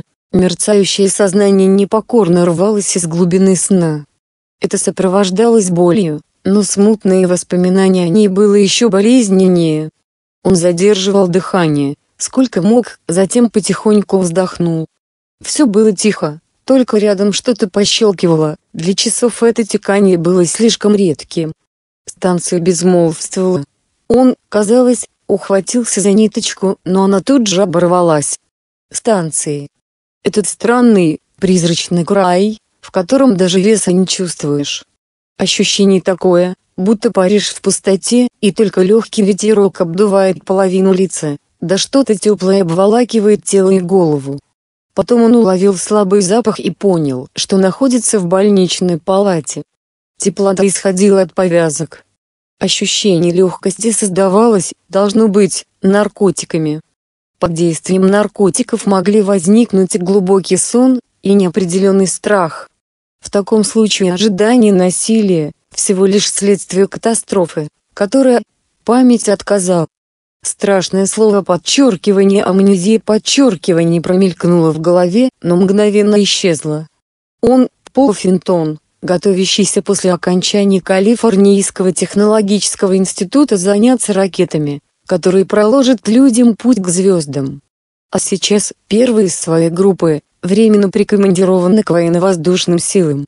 Как только он поможет избавить мир от насилия, снова вернется к занятиям, здесь опять был провал в памяти, но это уже не имело значения.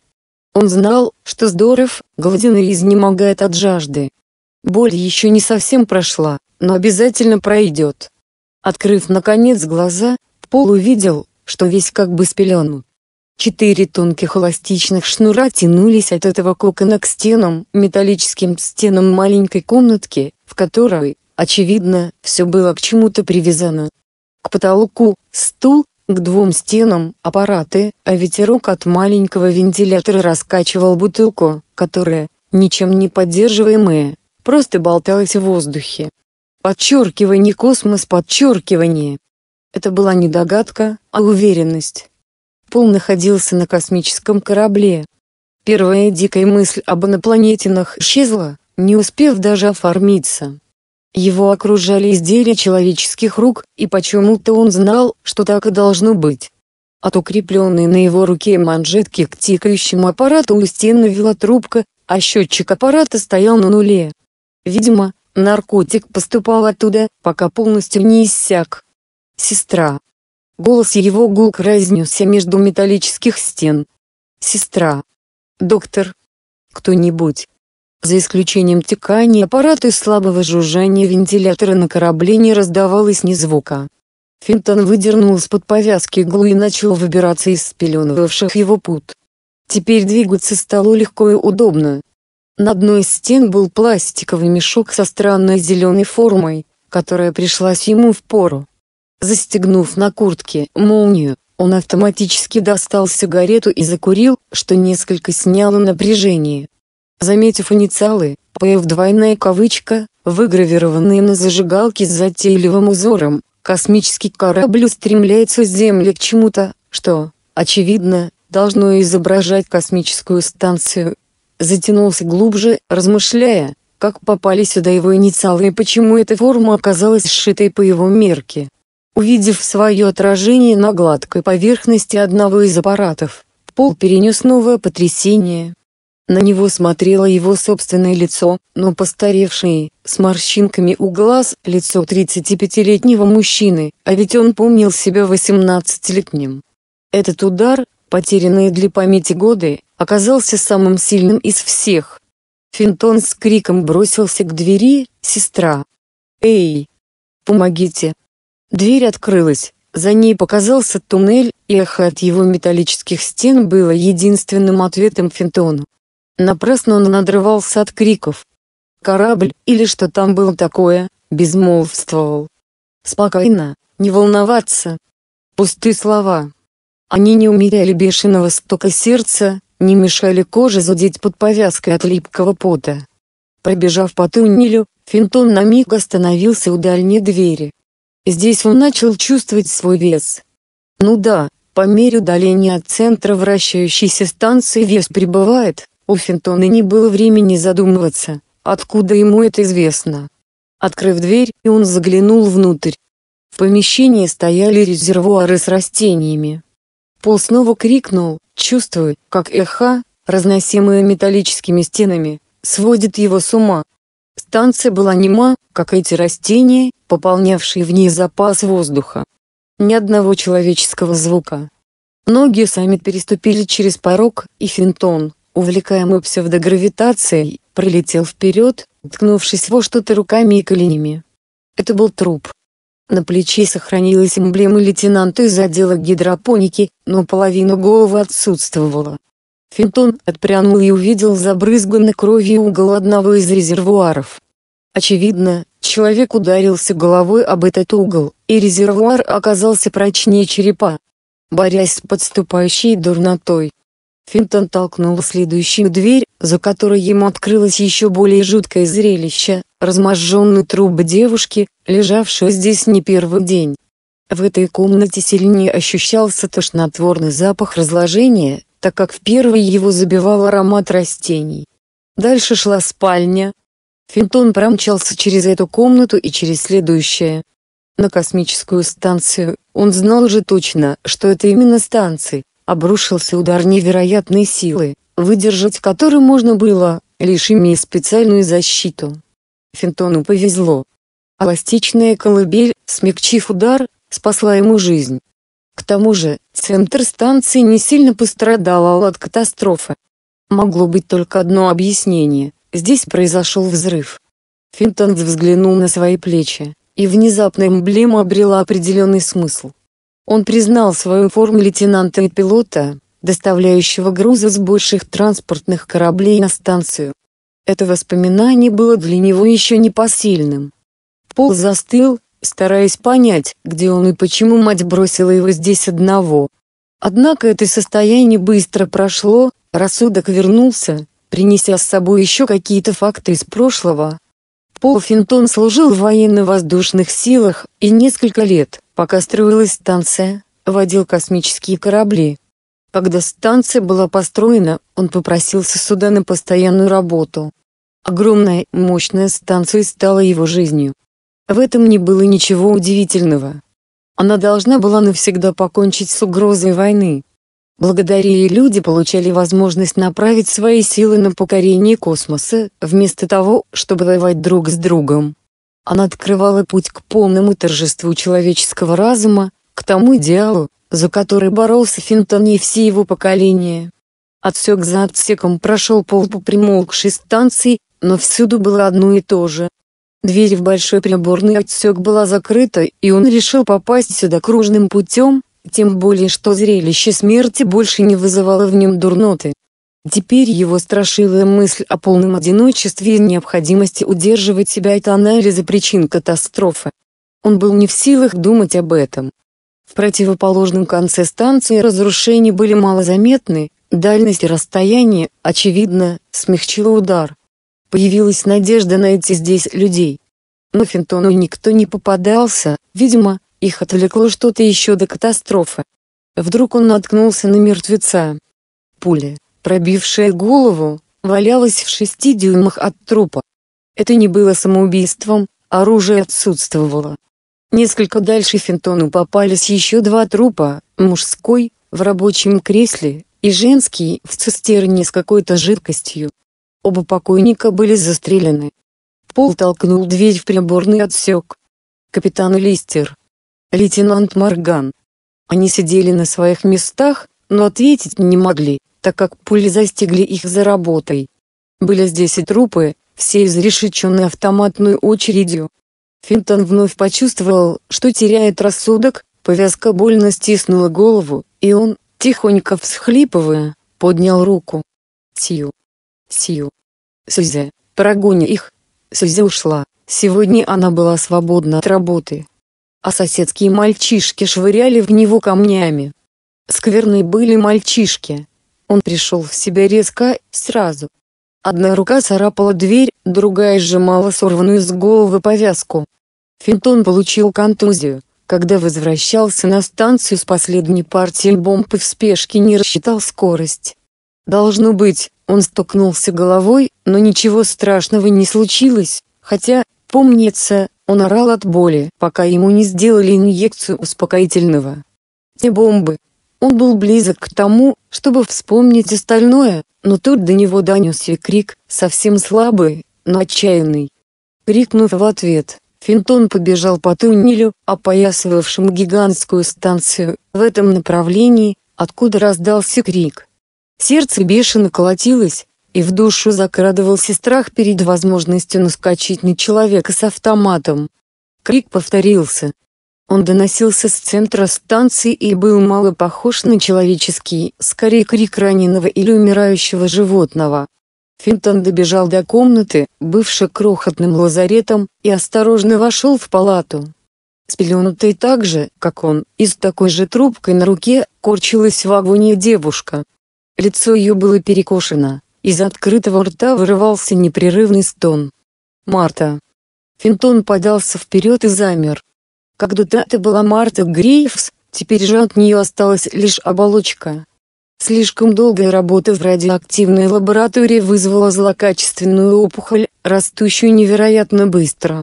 Доктору пришлось оперировать прямо здесь и вместе с опухолью удалить почти весь мозг гениального физика, сохранив низшие отделы, регулирующие чисто физиологические функции организма.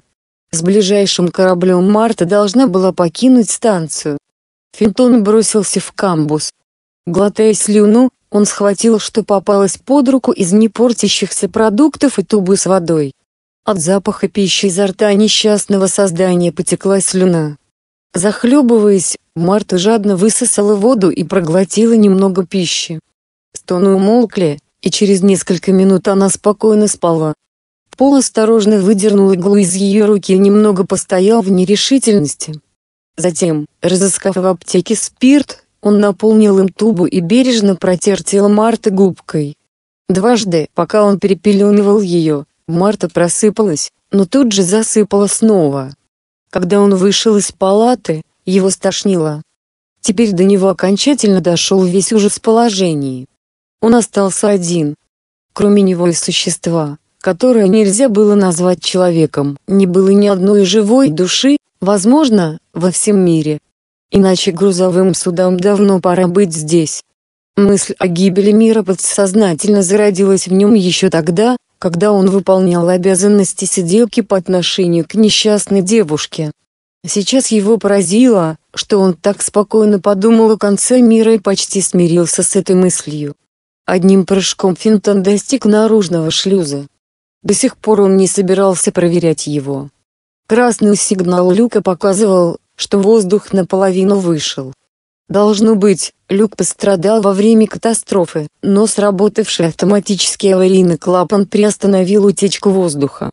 Финтон разыскал скафандр и выбрался наверх, переведя управление с автоматического на ручное. Здесь было хуже, чем внизу.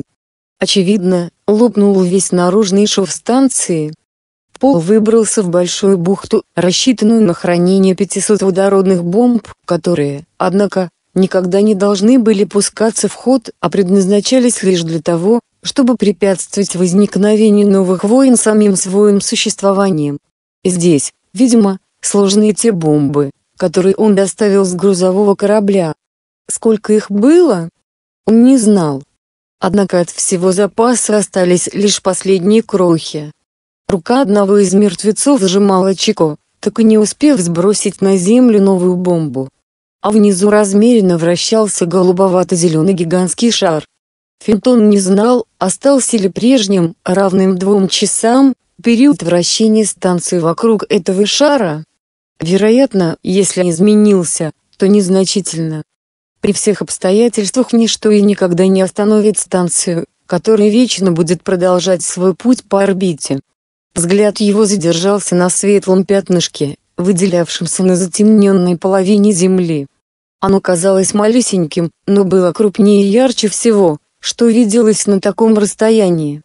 Так мог выглядеть только объятый пламенем город. Финтон стоял и смотрел, не желая примириться с единственным логическим объяснением.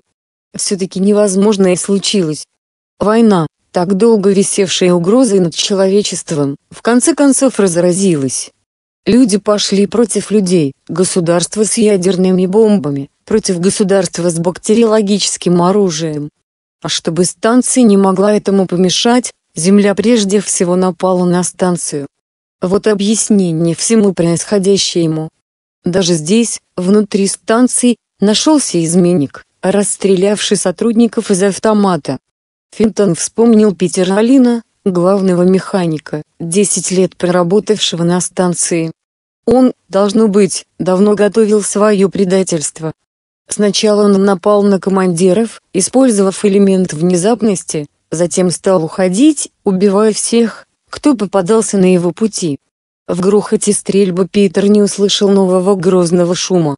Огромный управляемый снаряд, выпущенный, возможно, хозяевами изменника, поразил его одновременно с теми, кого он предал. «Почему?» – заорал Финтон. «Почему?» Он разрыдался, и собственные рыдания звучали в его ушах, пока он возвращался в приборный отсек. Вера и надежда не оправдались, вера в спасение мира и надежда на это сооружение из металла. Мысли были горькие и все время путались, но Финтон сумел взглянуть фактом в лицо. Станция погибла, а человечество вернулось назад в джунгли, вместо того чтобы лететь к звездам. Медленно, но без страха перед тем, что придется увидеть, Пол подошел к экрану, позволявшему рассмотреть место, на которое направлен телескоп. Некоторое время он возился с ручками, настраивая прибор, потом постоял минуту, глядя на плывущую высоко над ним луну. Люди были близки к тому, чтобы освоить ее. И он надеялся участвовать в этом деле. Теперь оно стало невозможным. Он посмотрел вниз на город, скрытый тонкой дымкой облаков. Кое-что все же можно было разглядеть. Но это кое-что оказалось огромной грудой пепла. На 50 миль вокруг простиралась опустошенная, ставшая непригодной для жизни земля. По мере движения станции он переводил телескоп с одного города на другой, и наконец ему попалось несколько городов, разрушенных не столь основательно, Должно быть, здесь применили старомодные атомные бомбы, но и их оказалось достаточно. Он опустил ручки телескопа, и им овладело вдруг тупое безразличие, которому Пол был даже рад. В аптеке найдется какой-нибудь яд. Медленно поднявшись, Финтон приготовился выключить экран и замер. Он увидел движущиеся точки. Бросившись в кресло, он постарался увеличить масштабность изображения. Станция была как раз над Эфрикой, следовательно, движущиеся точки были какими-то крупными животными. Но на экране появилась еще точка, движущаяся более быстро. Самолет. Вглядевшись внимательнее, Финтон убедился, что точки внизу движутся по прямым. Скорее всего это автомобиля. Жизнь продолжалась. Дрожащими пальцами Финтон потянулся к радиопередатчику и стал наугад менять диапазоны. С минуты царила тишина. Потом появились слабые потрескивания, он услышал азбуку Марзи и схватил микрофон. Передатчик не включался, а сигнал был на незнакомом языке. Давно пора установить понятный для всех способ общения. Подумал Финтон, раскрыл передатчик, потряс его. Тщетно. Одна электронная лампочка не светилась. Он пошарил в ящике под столом, надеясь найти сохранившиеся запасные детали. Ему посчастливилось, он нашел нужную лампочку, заменил перегоревшую, и передатчик заработал. Теперь пропала морзянка. Видимо, станция вышла из зоны приема. Но это уже не имело значения. Главное, на Земле остались живые люди. Погибли города, наука, цивилизации, но человечество живет и будет жить. И он, Финтон, как всякий, знающий хорошо свое ремесло, понадобится Земле. Может быть, это поколение мало что успеет сделать. Но оно окажет помощь в восстановлении разрушенного мира, и будущие возрожденные поколения устремятся все-таки к звездам. После столь горького урока, едва не окончившегося гибели всего живого на Земле, войн, конечно, никогда больше не будет. Финтон понимал, что у него реакция после перенесенной депрессии, но его рассуждения не были лишены смысла. Он ведь мог вернуться. На станции сохранился небольшой спасательный корабль, заправленный горючим. И места на корабле могло хватить для многих вещей, неизвестно ведь, в чем испытывают особую нужду на Земле. Контейнеры с кислородом погибли. Зато осталось вдоволь растений, выращенных на гидропонической основе. Они даже надежнее. С их помощью человек может долгое время жить в герметически закрытом корабле. Финтон встал и направился в грузовой отсек. За то время, пока он нагружал корабль до предела, реальность понемногу стала вытеснять его неоправданный оптимизм. Факт, что часть людей осталась жива, не уменьшал их вины за страшные злодеяния, конечно, не приближал их к звездам. Мало-помалу отвращение и ужас вновь начали овладевать Финтоном. Сможет ли человек забыть столь жестокий урок, о котором ему очень долго будут напоминать руины городов? В таком мире жизнь будет горькой, полной кошмаров. Но когда-нибудь, в далеком будущем, потомки Финтона смогут с гордой улыбкой взирать на землю с луны. Финтон закончил погрузку и прошел назад по разрушенной станции. Воздух с каждой минутой становился все тяжелее от запаха разложения. Провнявшись трупом Питера Алина, Финтон отвел глаза. Когда-нибудь придется отдать себе отчет, что его раса породила такого предателя, когда-нибудь, но не сейчас. В последний раз память попыталась увлечь его назад, к детству, но он не поддался и решительно прошел мимо трупа. Это было прошло. А жить отныне надо только для будущего. Он опять зашел в приборный отсек. Внезапно появилась потребность услышать человеческий голос. Станция за это время совершила виток вокруг Земли и прошла немного дальше. Сейчас она находилась над Америкой, значит, он услышит родной язык. Финтон вытер вспотевшие руки и взял микрофон. «Вызываю Землю. Вызываю Землю». Говорит космическая станция. Отвечайте, Земля. Я в этом деле новичок, Поэтому повторяйте ответ, пока настроюсь на вашу волну. Космическая станция вызывает Землю. Прошло несколько секунд, и в наушниках раздался ответ, не понимали. Проклятие. Некоторые бомбы прошли мимо цели. Мы потеряли 95%. Дело плохи. Но этим подонкам пришлось еще хуже. Лучше, если вы приземлитесь возле меня, я укажу место. Каинкт очень зол на вас, ребята, за то, что вы все это затеяли.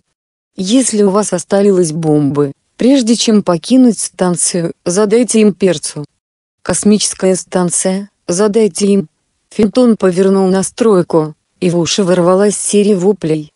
Из всей этой истерической чепухи он понял, что от него требуют захватить все культуры, имеющиеся в биологической лаборатории. Хоть по одному микробу. У вас там много нераспознанных. Нестово повторял голос. Захватите их, а мы разберемся, что может пригодиться. Мы должны напасть первыми. Мы должны... Пальцы Финтона отчаянно вертели настройку по всем диапазонам. Спасения не было. Наконец он услышал резкий щелчок мощного пеленгатора. Это могла быть только официальная радиостанция. Временный главный штаб космической станции. «Отвечайте! Отвечайте!» — кричал осипший голос человека, бессменно работающего на протяжении суток. «Я понял вас, генеральный штаб!» — откликнулся Финтон, испытывая облегчение от того, что там, внизу, еще существует какая-то организация. Голос заговорил быстро и четко, хорошо. Мы вызываем вас уже несколько суток. Думали, что эти проклятые ракеты прикончили всех. Вы можете управлять, нет, не надо. У меня для вас приказ. По нашим расчетам, 19 бомб у вас еще осталось. Передаю цели, и, бога ради, не мажьте, как в прошлый раз. Итак, первая цель, слушайте внимательно, повторять не буду, первая цель. Финтон выключил радио и медленно поднялся. Он вышел из приборного отсека, прошел мимо покойников, погибших от пуль Алина, и мимо самого Алина, мимо трупов тех, кто погиб при взрыве. Вид смерти больше не волновал его. По сравнению с тем, что сохранилось на земле, смерть ничего не стоила. Пол уверенно повторил прежний путь, нашел скафандр надев его, вышел через наружный шлюз. Бомбы были на прежнем месте, и не 19, а 20. Рядом с бомбами лежали трупы людей, которые прибыли сюда, чтобы повести человечество к звездам, а умерли из-за того, что Землей продолжала править ненависть.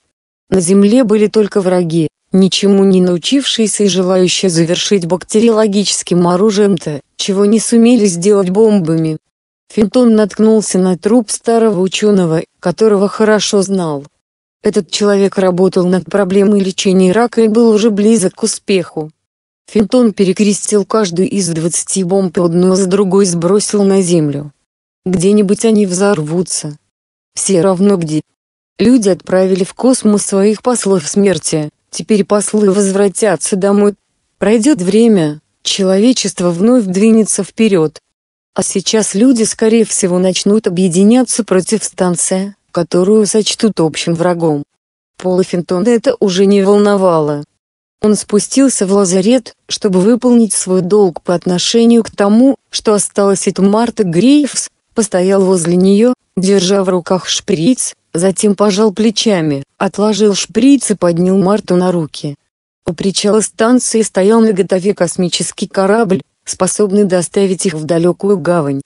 С их гидропонической фермой и запасами провианта они смогут прожить еще очень долго. А их корабль останется на скрытой от Земли стороне ее спутника вечным памятником погибшей земной цивилизации. Люди, мечтавшие о Луне построившие станцию, заслужили памятник. Пол Финтон остановился внутри корабля, ожидая, пока закроются все люки, и сплюнул себе под ноги. Идеалист. С горечью выбронил он себя. Когда он включил двигатель и оторвался от станции, глаза его были обращены к Луне. Земля уходила все дальше, но Финтон на нее не оглянулся. Лестер Делерей.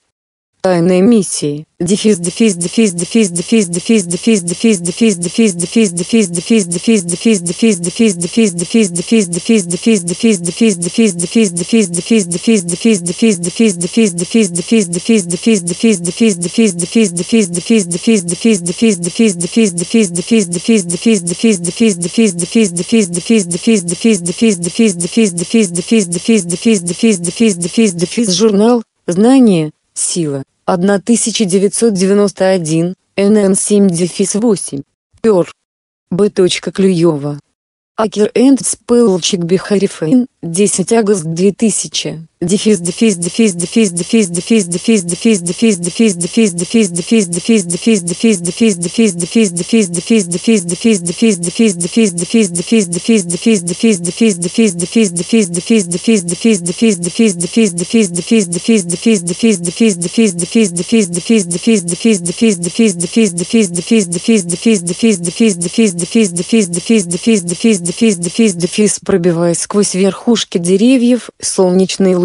беспощадно обнажили весь хаос и опустошение там, где еще вчера обретался деревянный дом. Теперь он лежал в руинах. Одну стену, будто взрывом, отбросило далеко в сторону, и ее жалкие обломки валялись на земле, крыша провалилась, как если бы по ней великан прошел. Тут же возле развалин дома лежало то, что учинило весь этот разгром. В одной куче с лабораторным оборудованием различными предметами, еще недавно располагавшимися в лаборатории разрушенного дома, валялись искореженные металлические балки, а чуть в стороне лежал на боку разбитый на куски странный на вид двигатель. Среди всего этого мусора выделялся цилиндр, по-видимому бывшей ракета. Огромная лоснящаяся металлическая чушка, застрявшая на рухнувшей крыше, лишь отдаленно, да и то на взгляд искушенного в космических делах наблюдателя, напоминало потерпевший крушение космический корабль. Из бывшей лаборатории еще выбивались языки пламени и лизали обшивку корабля, медленно захватывая остатки дома. В стороне, на поляне лежали две распростертые человеческие фигуры одинакового роста и сложения. Впрочем, на этом их сходство и заканчивалось. Один из них, Темноволосый человек с изуродованным до неузнаваемости лицом был абсолютно гол. Неестественный поворот головы, без всяких сомнений, свидетельствовал о том, что у него сломана шея. Второго человека и по росту и по сложению можно было бы принять за викинга из далекого прошлого, если бы его лицо не отмечало печать высшей культуры. Он был одет, и потому, как вздымалась-опускалась его грудь, можно было заключить, что он жив. На балке, упавшей рядом с ним, видны были следы крови. Кровь, и в большом количестве, была и у него на голове, но рана легкая, его просто контузило. Но вот он зашевелился неуверенно поднялся на ноги, потряс головой, пощупал рану на виске. Медленно обвел взглядом поляну, огонь, весело пожиравший руины. Следующим объектом его внимания стал труп человека, он перевернул его и осмотрел нахмурился, снова потряс головой, чтобы восстановить память, которая явно оставила его. Память не возвращалась. Он узнавал все, что видел, но не находил слов, чтобы дать определение предметам, и не было в голове никаких признаков прошлого. Первое, что подкидывало ему память, было его пробуждение и ощущение невыносимой пульсирующей боли в голове. Без всякого удивления он осмотрел ракету и понял, что она, потеряв управление, грохнулась на дом, но и тут в его памяти не возникло никаких картин, и он отказался от попыток что-либо вспомнить. Он не мог даже сказать, был ли он во время катастрофы в корабле или в доме. Возможно, в доме в это время спал тот, голый человек. Легкое покалывание почувствовал он вдруг в голове, оно становилось все сильнее и побуждало к действию. Нельзя попусту тратить здесь время, он должен выполнить какую-то жизненно важную миссию. Какую же? В какое-то мгновение ему показалось, что он ухватил мысль, но она тут же и ускользнула, осталось только непреодолимое желание подчиниться. Он пожал плечами и направился по едва заметной среди деревьев тропинке прочь от развалин. Но тут новое побуждение, которому он подчинился, потому что неволен был поступить иначе заставила его вернуться к трупу. Не осознавая своих действий, он подтащил труп, тот оказался удивительно тяжелым, к самому дому. Огонь охватил уже весь дом, но он нашел не такой жаркий проход внутрь и сумел столкнуть труп в самое пекло. Исполняв это второе побуждение, он вернулся к выполнению первого, вернулся на тропинку в лесу и медленно побрел по ней. Стопы буквально горели в ботинках, Ноги были свинцовые, но он мрачно продолжал путь, в то время как в голове нескончаемой каруселью вертелись одни и те же вопросы «Кто он? Где? Зачем? Кто бы ни жил в том доме, сам ли он или погибший, место было выбрано для него весьма уединенное. Казалось, лесной тропе не будет конца, и ни одного жилища ему не встретилось по пути. Тяжело продирался он вперед, гадая, есть ли конец этой тропинки, пока не увидел ряд столбов с перекладинами и натянутыми на них проводами. Впереди он различал широкое шоссе, по которому в обоих направлениях сновали машины, и он поспешил туда в надежде кого-нибудь встретить. Ему повезло.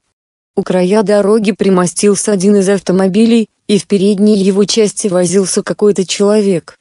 Гневные, грубые ругательства так и сыпались из него. Наш незнакомец вдруг ухмыльнулся и заторопился к машине, вперев взгляд в голову водителя. Напряжение огромной силы прострелило его мозг, но как только он приблизился к человеку, оно тут же прошло. «Вам помочь?» Слова выскочили сами собой, и теперь вместе с восприятием обстановки предложения складывались в голове сами, а ведь до этого он не знал языка. Но ни вид водителя, ни все то, что пробудило в нем какой-то отсек памяти, не имело никакого отношения к его личности, к его собственному опыту, и в этом было что-то неправильное. Побуждение, которым он рабски следовал, не находили объяснения. При его словах хозяин машины поднялся, и его потное лицо просияло. «Да, как раз в этом я и нуждаюсь, мистер!» Благодарно воскликнул он. «Вот уже битый час я торчу здесь с этой чертовой колумагой, и хоть бы кто поинтересовался, что тут у меня. А вы соображаете что-нибудь в этом?» Хм. Незнакомец, так он сам стал называть себя за неимением ничего более вразумительного, потрогал провода, слегка подивившись незамысловатости устройства. Не обнаружив поломки, он обошел машину, открыл багажник и заглянул в него.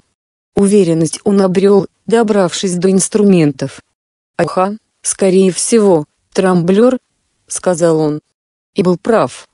Через несколько минут мотор тихо замурчал, и водитель обратился к незнакомцу, теперь порядок. «Хорошо, что вы подвернулись мне, это же самая дремная часть дороги, да и до ближайшей авторемонтной мастерской не одна мили. Вам далеко?» «Мне?» Незнакомец помолчал в замешательстве. «Мне в большой город», — сказал он наконец, не придумав ничего лучшего. «Тогда влезайте. Я еду в Элизабет нам по пути». Да я и рад вашему обществу, а то от нечего делать болтаешь всю дорогу сам с собой. Курите? Нет, спасибо. Никогда не курил. Он с неудовольствием смотрел, как сосед прикуривает. Дым от сигареты, запах бензина да и самого водителя вызывали тошноту, но он постарался насколько возможно освободиться от этого чувства. Не слышали ли вы, а может быть, читали что-нибудь о космическом корабле, это вы о корабле Глсорпа? Конечно, я читал о нем все, что публиковалось в газетах.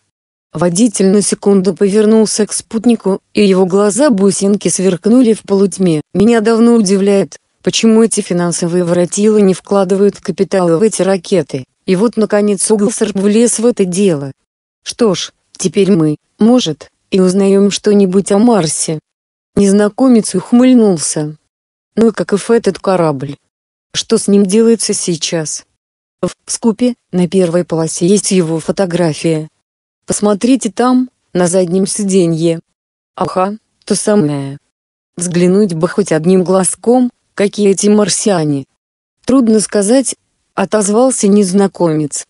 Ему было достаточно беглого взгляда на фотографию в газете, чтобы понять, что это не тот корабль, который потерпел крушение. О других ракетах для полета на Марс ничего не слышно. Не. Я, во всяком случае, не слыхал. Знаете, я частенько думаю, что марсиане похожи на нас. Ее богу, ему и оглядываться не понадобилось, чтобы почувствовать недоверие собеседника. Я даже как-то написал рассказ об этом для одного научно-фантастического журнала, но они вернули его мне.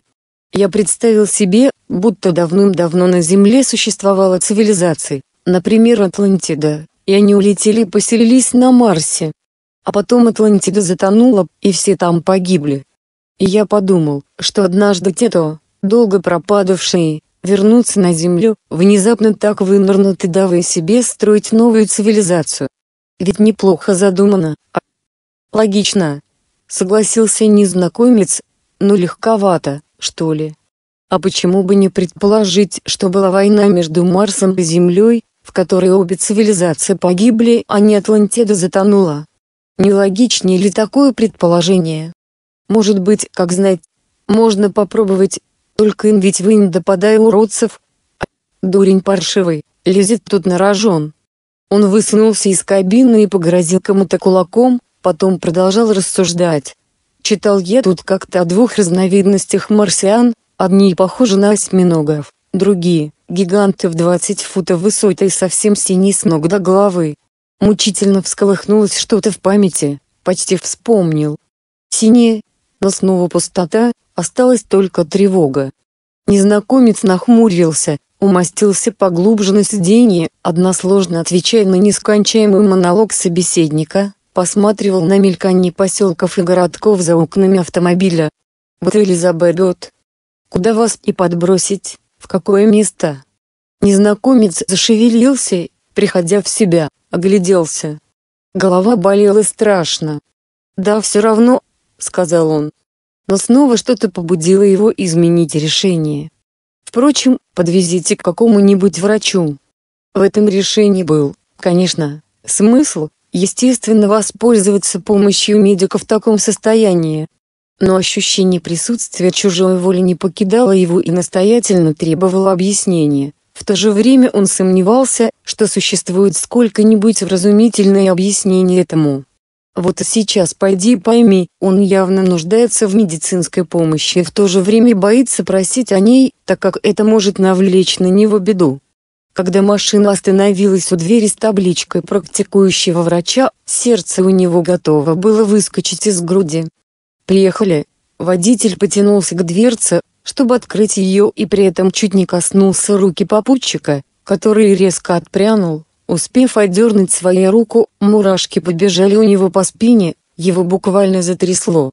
Если бы водитель дотронулся до него, приоткрытая дверца снова захлопнулась, а он все думал, что не дай бог кому-нибудь прикоснуться к его телу, это вызвало бы ужасные последствия.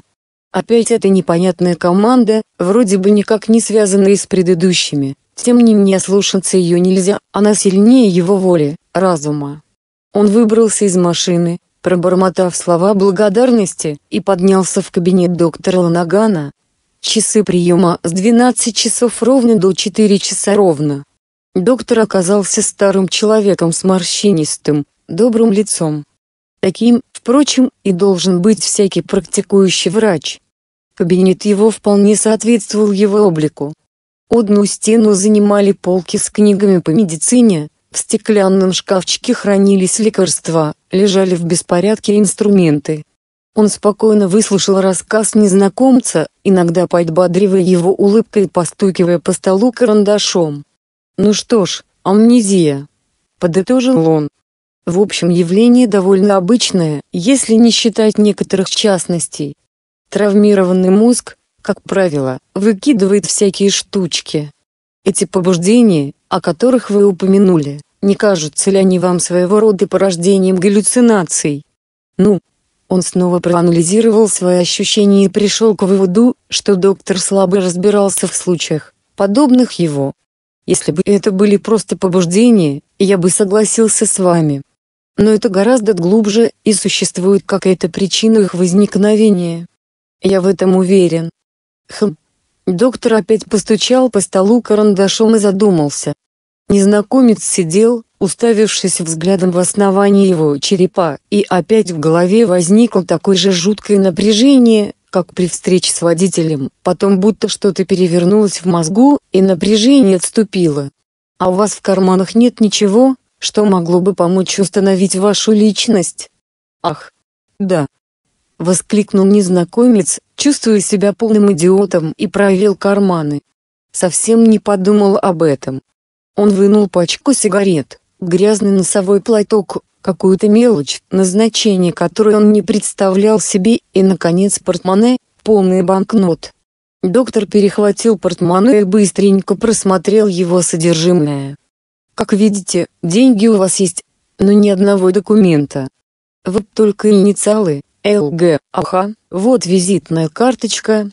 Он протянул ее вместе с портмоне визитера и удовлетворенно улыбнулся. По всей видимости, вы, коллега, доктор Лертон Гейнс. Это вам что-нибудь говорит? Ничего. Хорошо обрести имя. Только и подумал он, взглянув на карточку. Но при чем здесь очки, сигареты? Он же никогда в жизни не пользовался ни тем, ни другим. В это время доктор, порывшись в своих книгах, выудил грязный красного цвета том. «Ху из ху», — пояснил он. «Посмотрим, Хм. Вот, Лертон Р. Гейнс, ученая степень, доктор медицины. Странно, но вы выглядите гораздо моложе. Далее, работает над проблемами онкологии. Родственников не указано. Ваш адрес, по-видимому, тот дом, о котором вы упоминали, Дансвилл, Суррей Роуд. Хотите взглянуть? Он протянул книгу, и незнакомец, вернее теперь Гейнс, внимательно ее проштудировал, но не подчерпнул из нее ничего нового, кроме того, что ему 42 года. Он положил книгу и вынутую из портмоне банкноту на стол. Гейнс пожал плечами, улыбнулся я, открыв дверь, оказался на улице. Никаких побуждений он не ощущал, одно уныние и поэтому решил, что миссию свою завалил. Как скажем мало они понимали в лечении болезней, хотя и трудились не покладая рук. В сознании Гейнса сложилась полная картина развития медицины со всеми ее поразительными взлетами и падениями, и он видел, что даже его случай не подвластен здешним медикам. И это новое его открытие, так же как неожиданное обретение им речи, оставалось для него загадкой. Оно вломилось в его мозг, как бы преодолев колоссальное сопротивление, и обескураживающее чувство поражения сопутствовало этому приобретению. И как ни странно, к онкологическим проблемам его открытие не имело никакого отношения, оно касалось только методов терапии. Напрашивалось одно объяснение, но оно было настолько фантастичным, что трудно было в него поверить. Предположим, что эти двое, шофер и врач, были телепатами, но не из тех, кто, глядя в глаза другому, крадут его мысли. Нет, это было что-то гораздо более сложное и необъяснимое, нежели простое пробуждение каких-то заклинившихся разделов памяти, вызванное появлением этих двоих. Он остановился за углом, изнемогая от напрасных попыток что-то понять, тупо раздумывая над свалившейся на него проблемой.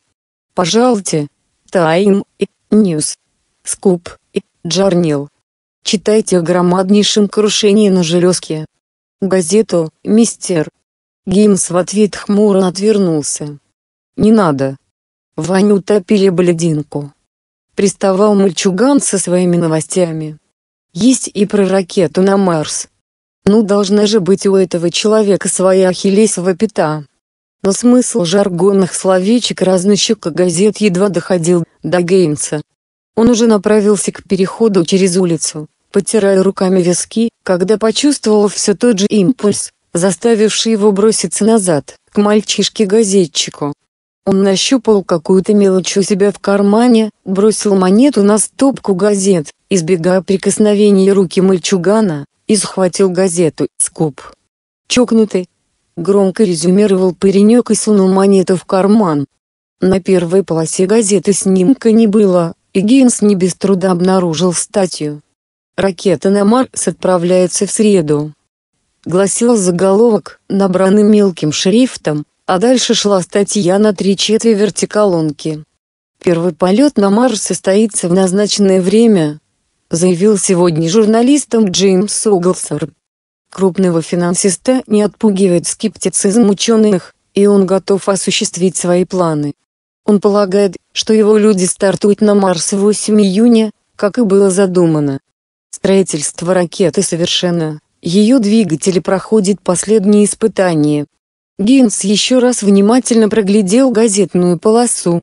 Автор явно держал язык за зубами, но из намеков из пустых как будто слов Гинс почерпнул необходимую ему информацию. Ракета дееспособна, человек вышел наконец на путь завоевания иных планет. Никаких упоминаний о других подобных ракетах статья не содержала. Однако вполне возможно, что попытки превзойти Аглсорпа в создании подобной ракеты где-то в тайне предпринимались. Но не это важно. Важно не допустить полета. Самое главное, человек не должен лететь на Марс. Гинс не знал, в чем смысл этого его решения, с точки зрения здравого смысла оно никуда не годилось. Он воспринимал это как свой долг. Не допустить полета на Марс – это долг, и все тут. Он быстро вернулся к разносчику газеты и уже протянул руку, чтобы тронуть его за плечо, но тут же отдернул ее, никаких прикосновений. Казалось, мальчик почувствовал его присутствие и быстро повернулся. «Газетку!» — радостно произнес он, но узнал незнакомца. «Это вы? Чего вам? Как мне попасть на поезд в Нью-Йорк?» Он достал 25 центов и кинул их на газеты. Мальчик весело посмотрел на него. Протопайте четыре квартала, свернете направо, топайте дальше, пока не упретесь в здание вокзал. Не заплутайте. Спасибо, мистер. Открытие телефонной книги как источника информации стало величайшим триумфом Гейнса, хотя первый Оглсерп, к которому он пришел по указанному адресу, и оказался чернокожим дворником. Он продолжал свой путь по городу, рассматривая ничего не говорящие ему числа на домах. Видимо, их расположили по закону арифметической прогрессии, непринимая в расчет расположение улиц. Он сгорбился, его лицо было искажено от боли, брови сведены в одну линию.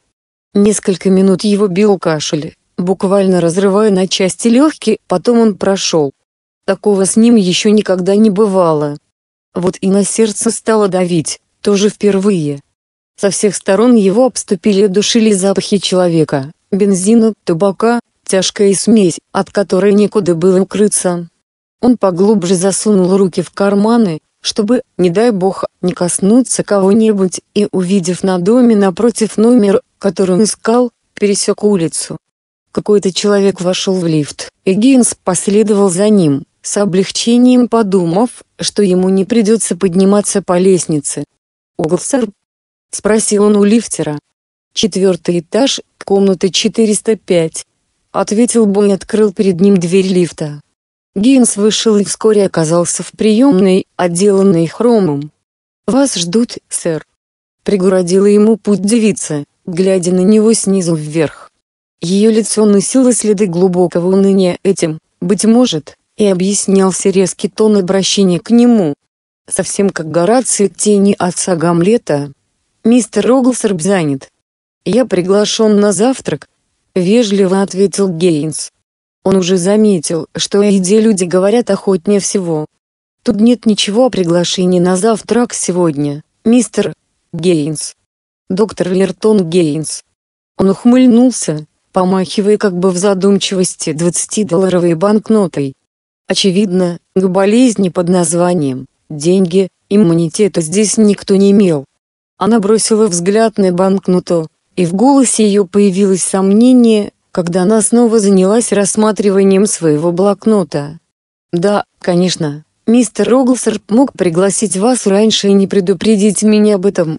Она заметила, как незнакомец слегка наклонил голову и положил деньги на краешек стола.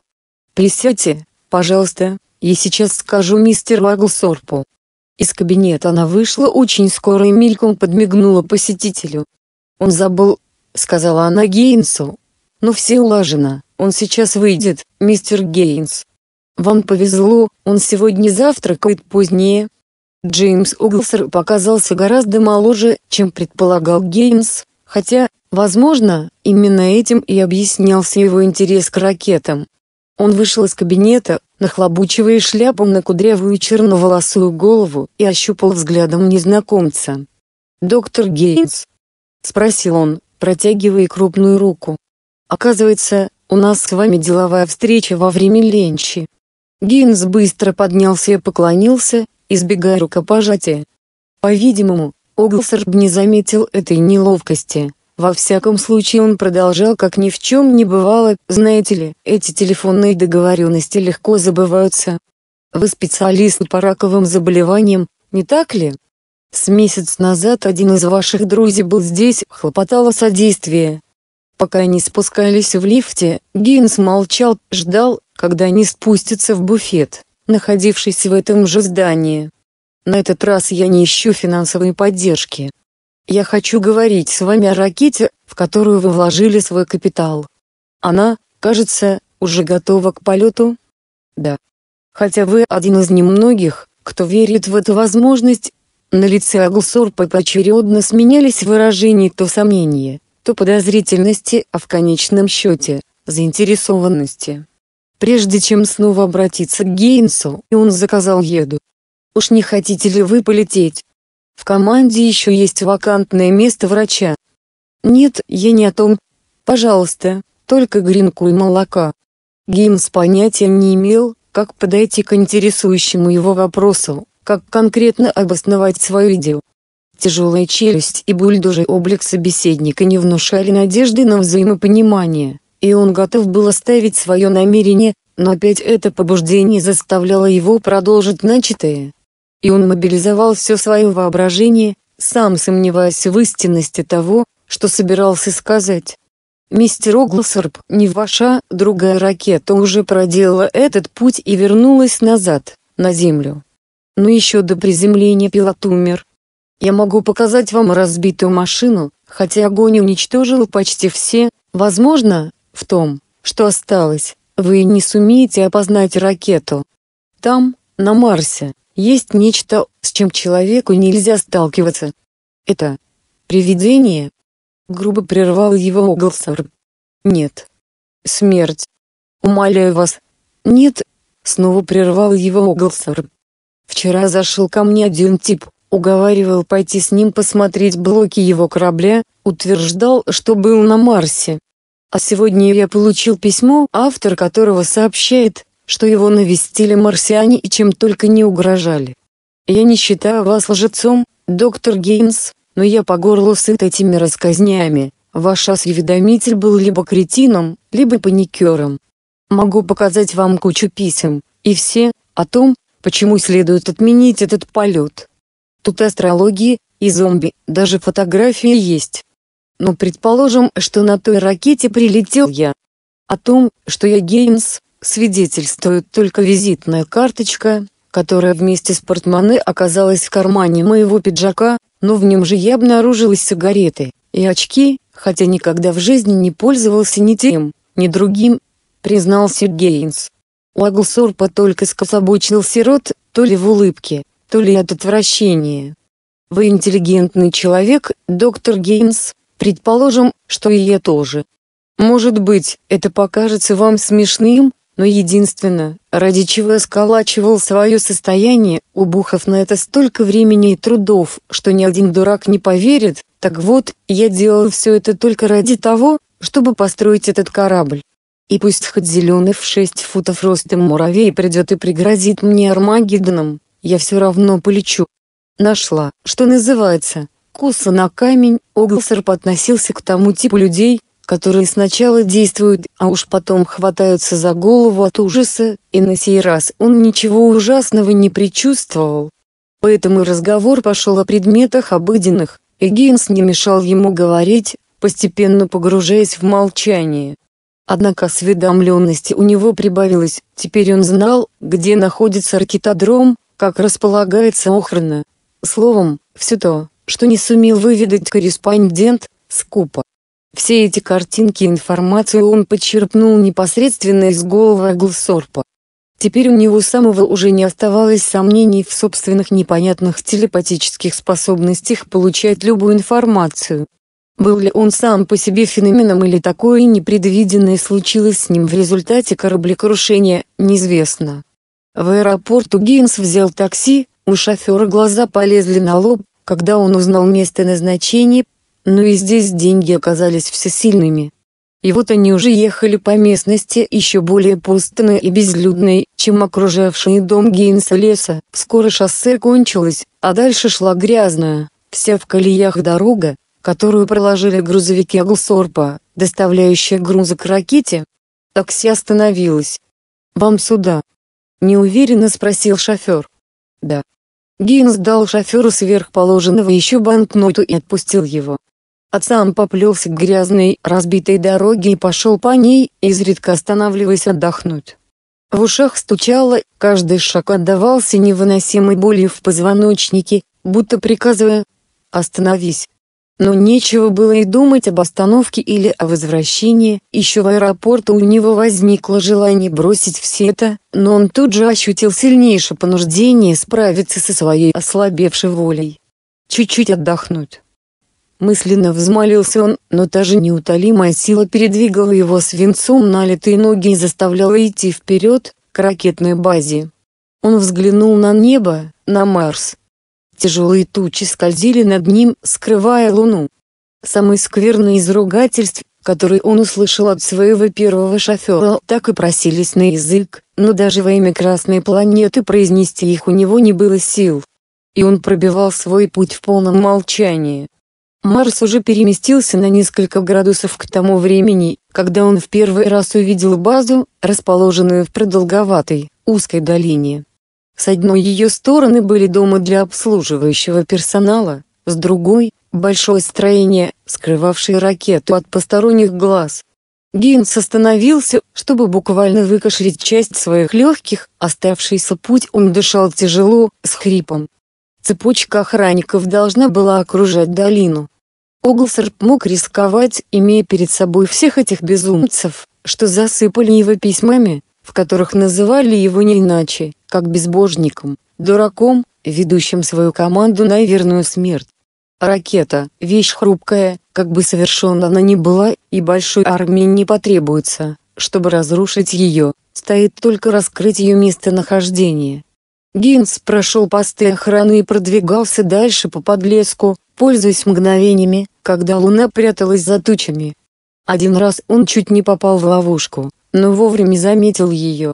Дальше подлесок кончался, но в слабом свете луны он в своей одежде почти сливался с землей, тихо отлеживаясь в светлые минуты, полз затем вперед, никем не замеченный.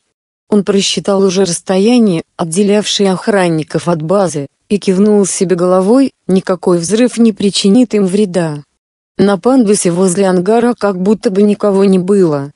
И вдруг в темноте у стены вспыхнул красный огонек и медленно погас. Там человек курил сигарету. Присмотревшись, Гимс разглядел винтовку, приставленную к стене. Этот охранник, подстраховка, о которой не знал сам Углсорб. Неожиданно все вокруг осветилось сквозь разрыв в облаках, Гинс замер, прижавшись к земле, и раздумывал над непредвиденным осложнением. И опять ему захотелось уйти, но он тут же понял, что не может, ему не оставалось ничего другого, как завершить начатое. Когда тучи снова закрыли луну, он спокойно встал и направился к уже поджидавшему его человеку. «Здравствуйте», — сказал он тихо, так, чтобы его мог слышать только этот охранник. «Позвольте пойти. Я специальный инспектор от Аглсорпа». Луч света ударил ему прямо в лицо, ослепил, и он поспешил навстречу ему. Другие охранники могли увидеть его, хоть это было и маловероятно, все их внимание было сосредоточено вовне, на внутренние постройки они не смотрели. «Подойдите», — ответил наконец охранник. «Как вы прошли охрану?» Естественно, в вопросе прозвучало подозрение. Ружье, как заметил Геймс, было направлено ему в живот, и он встал так, чтобы противник мог видеть его. Джимми Дархем знал о моем визите, сказал он охраннику. Сведения о том, что Дархем, начальник караула, Гинс выудил Аглсорпа. Он сказал, что у него нет времени извещать вас обо мне, но я и пришел, как видите, сам. Хмэм, раз они вас пропустили, значит, все в порядке, но теперь уж пока кто-нибудь не удостоверит вашу личность, вы отсюда не уйдете руки.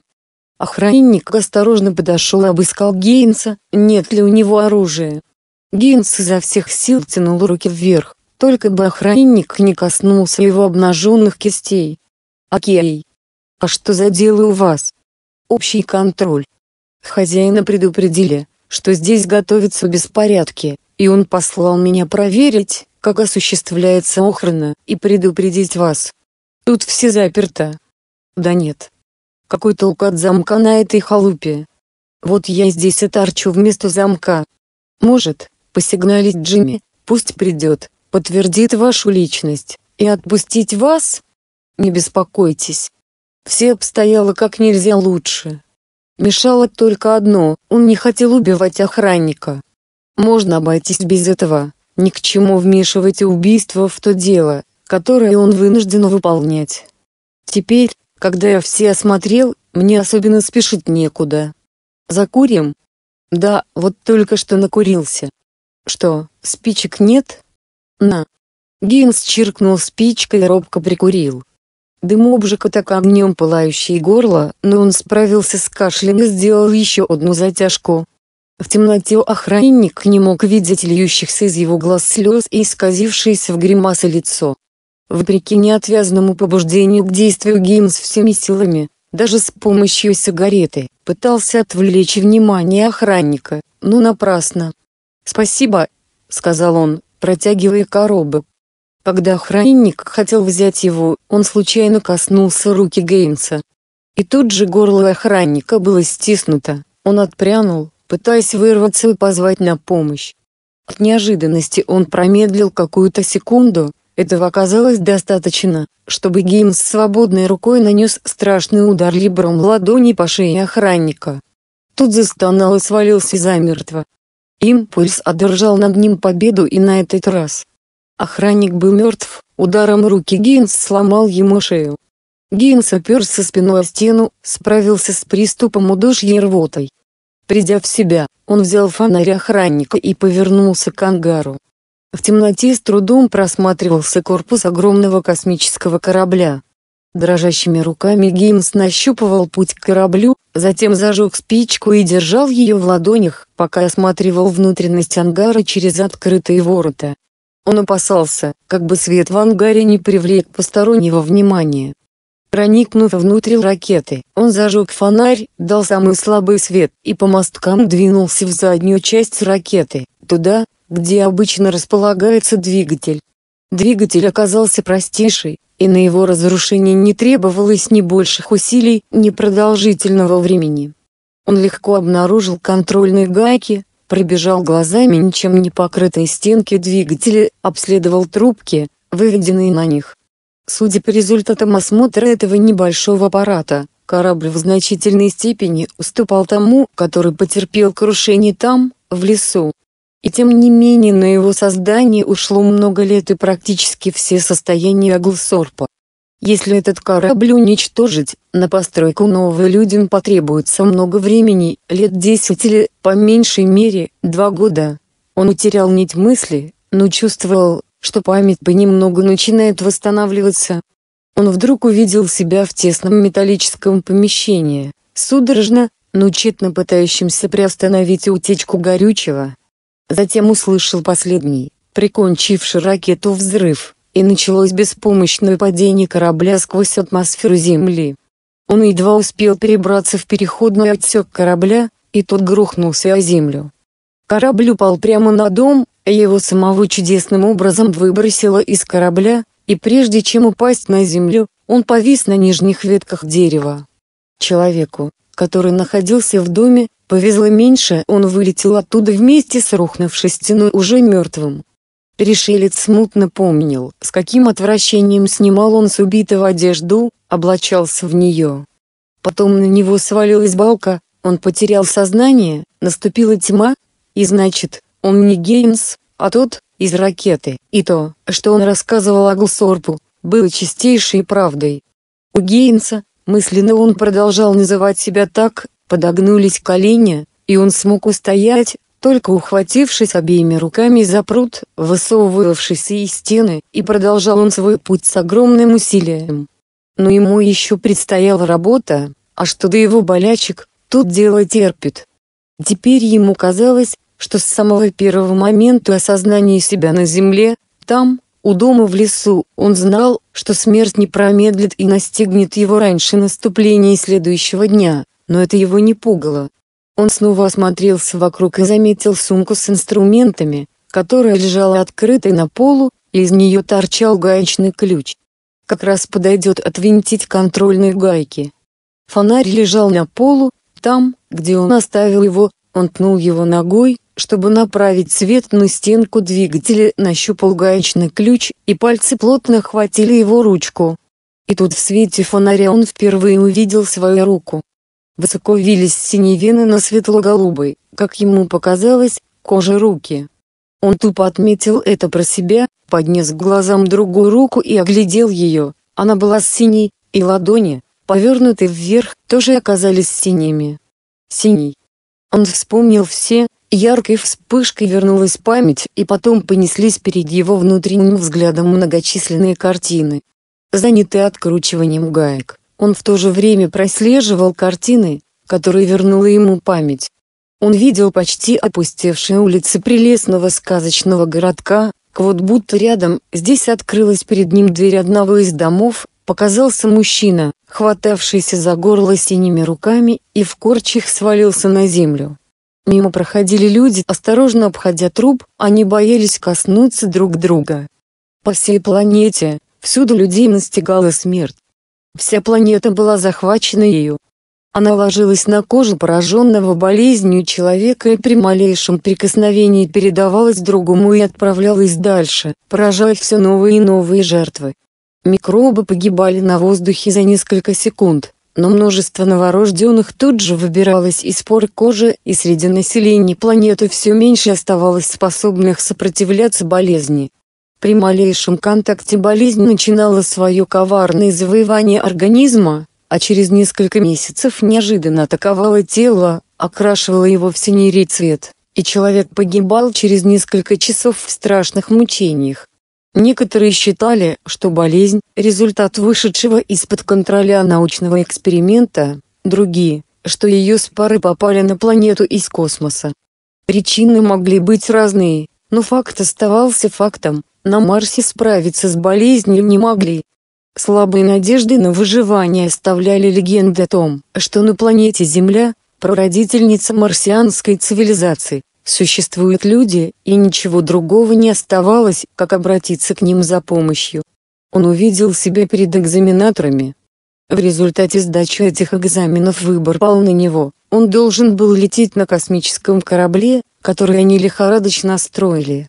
Его избрали потому, что он обладал исключительными способностями к телепатии. Даже среди высокоинтеллектуально развитых марсиан он оказался вне конкуренции. В последние несколько недель перед полетом эти его способности активно развивали и одновременно внушали ему обязанности, его миссию, которую он должен был выполнить хотя бы ценой собственной жизни.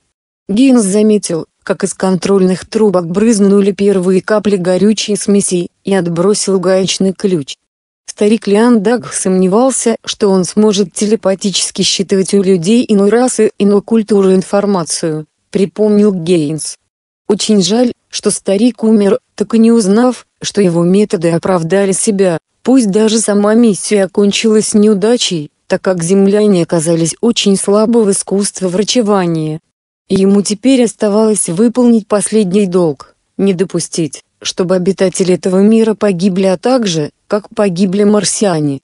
С большим трудом он заставил себя подняться, спотыкаясь и бормоча под нос что-то невнятное прошел обратно по мосткам. Синева его кожи потемнела, и он, буквально приказывая своим мускулам не распускаться, заставил себя преодолеть расстояние до дверей, до охранника, тело которого оставалось лежать там же, на месте схватки. Он был почти без сил, оставшиеся он употреблял на то, чтобы преодолевать больше, чем на его планете. Притяжение, каждое его движение превращалось в пытку. Он пытался волочить труп по земле, но сам упал, и на четвереньках, а то и ползком, вцепившись одной рукой и зубами в воротник куртки охранника, тащился к двигателю корабля. Кружилась голова, он был на грани бесчувствий, и один раз тьма совсем было поглотила его, но придя в сознание, он обнаружил себя внутри корабля, ползущим со своей ношей под воздействием все тех же импульсов, которые были сильнее его, сильнее его воля. Мало-помалу он одолел мостки, заполз в машинное отделение и сбросил труп в небольшую лужицу горючего, натекшего за это время на пол. Помещение было наполнено парами бензина, в нем похолодало, но едва ли он что-либо чувствовал. Ему оставалось выполнить свой последний долг. Для этого достаточно было одной искры. На Марсе останутся непогребенными некоторые из умерших, это неизбежно, а в трупах останутся живые микробы, и с этим могли бы встретиться там земляне. Нельзя допустить этой встречи.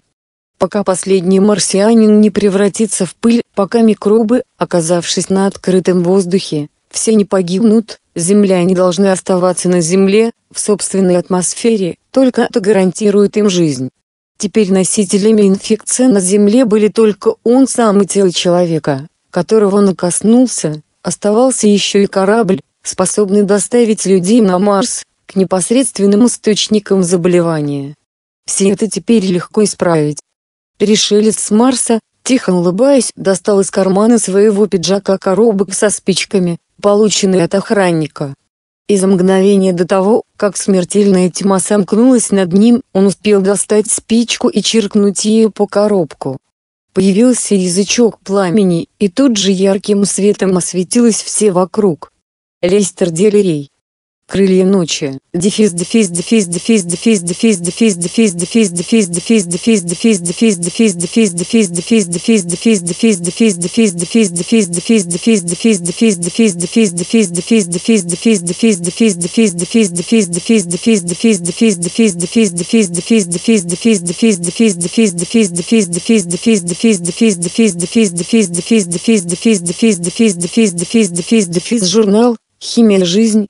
1969, Н5, сократочка пер, Н. Галь. Акер энд Спелчик Бихарифейн, 9 август 2000,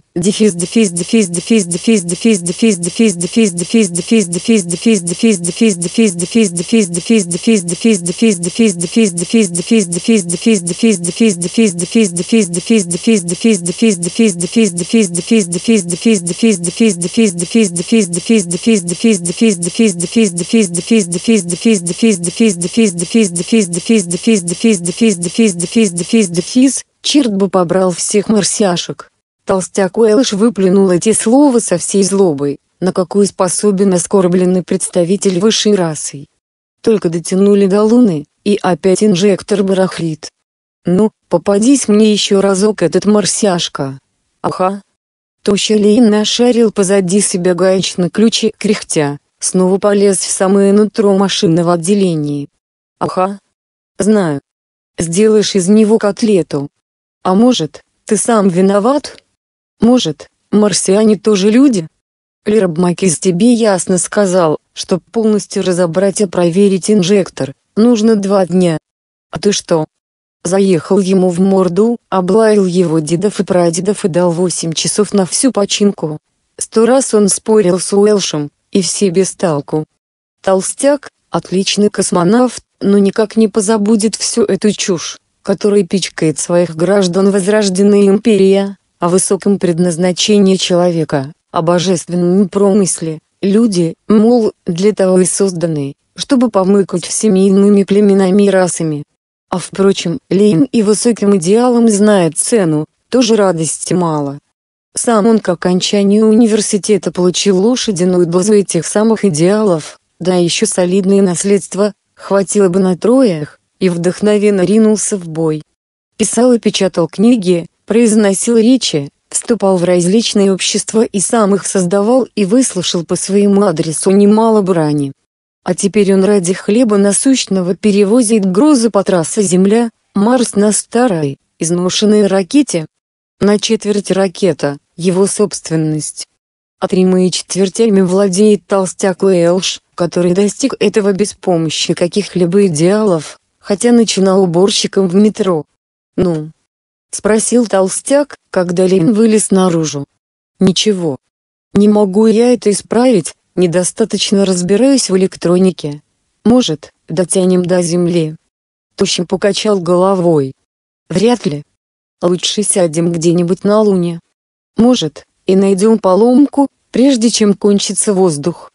Толстяк повел ракету вниз, посреди небольшой равнины он высмотрел на редкость чистую и гладкую площадку. Пора бы тут устроить аварийную станцию. пробурчал он. «Когда-то была», — сказал Лейн. «Но ведь на Луну никто не летает. Грузовики, вроде нас, не в счет. Странно, какая неровная эта площадка, ни одной метеорной царапинки не видно. Стало быть, нам повезло. Эй, что за чер?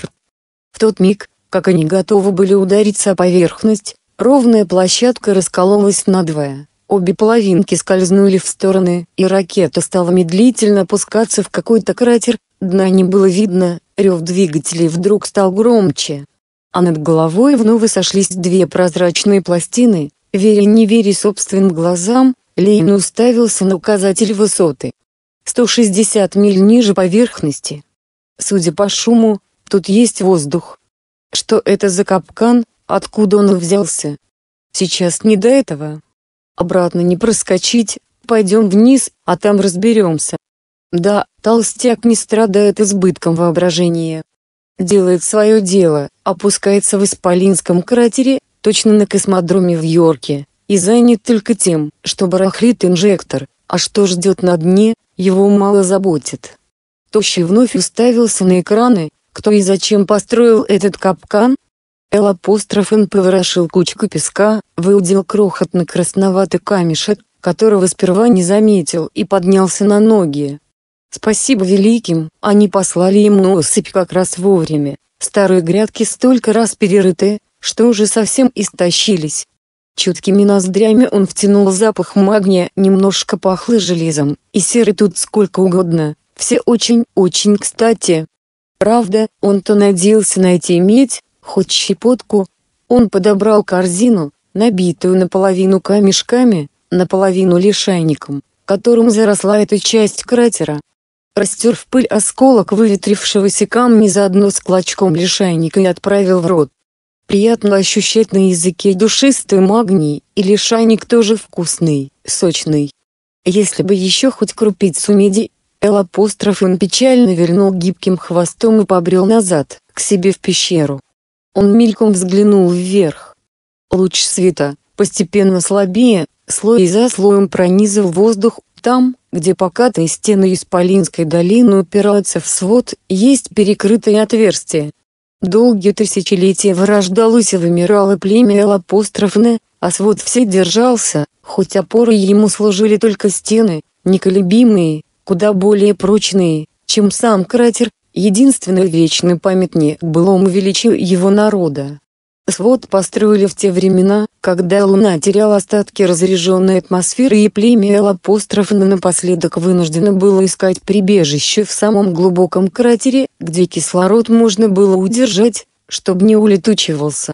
Но время не щадило его предков, оно состарило весь народ, как старило каждого в отдельности, оно отнимало у молодых силу и надежду.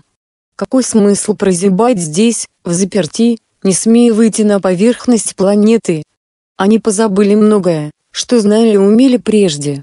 Машины рассыпались в прах, племя вернулось к первобытному существованию, кормилось камнем, который выламывали из стен кратера, дав выведенными уже здесь, внизу, лишайниками, которые могли расти без солнечного света, усваивая энергию радиоактивного распада.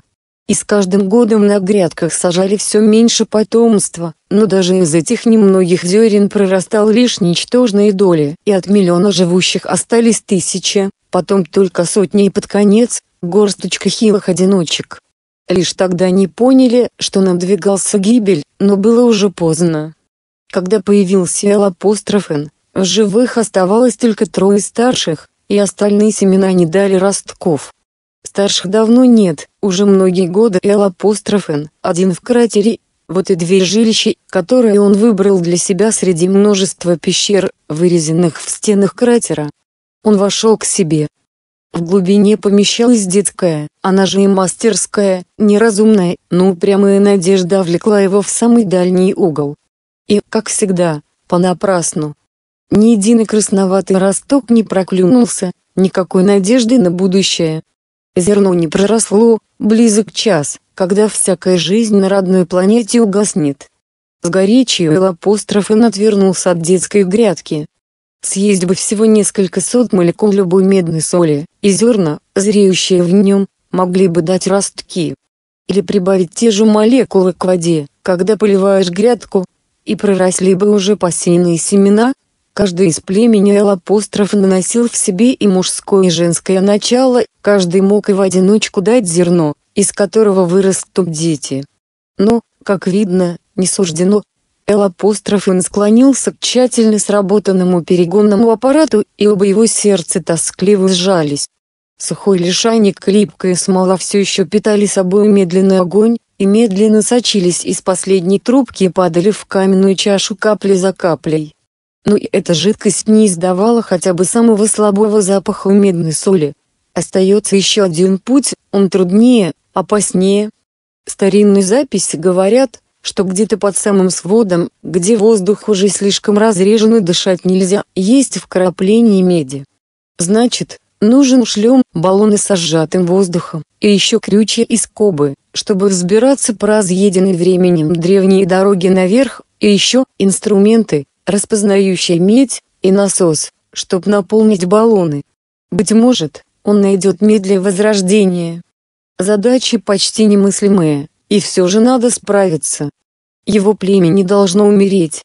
Внезапно в пещере раздался пронзительный свист. В Нергополе над створчатым шлюзом свода появился метеорит, и, видно, огромный. Эл-апостроф кинулся вперед и прижал пальцы к решетчатой панели.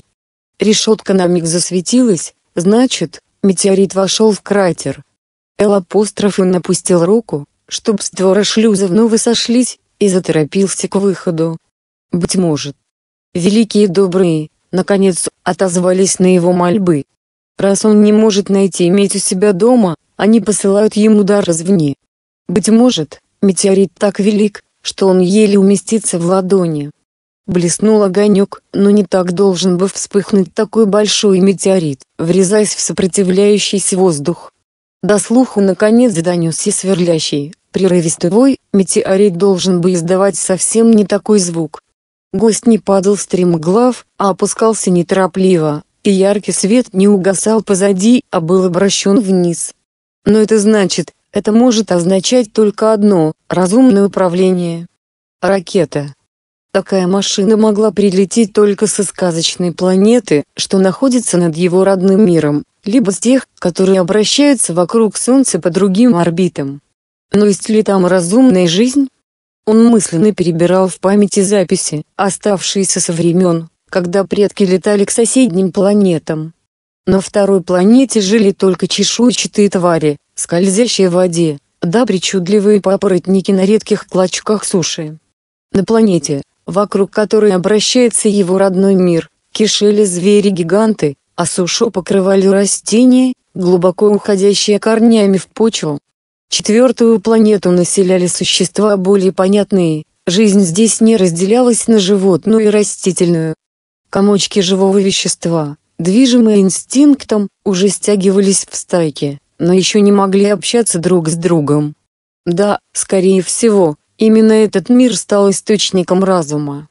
Если каким-то чудом ракета все же прилетела из третьего мира, надеяться ни на что, слишком он кровожаден, это ясно из древних свитков, на каждом рисунке огромные свирепые чудища раздирают друг друга в клочья Корабль опустился поблизости, и Эл-апострофен, полный страхов и надежд, направился к нему, туго свернув хвост за спиной.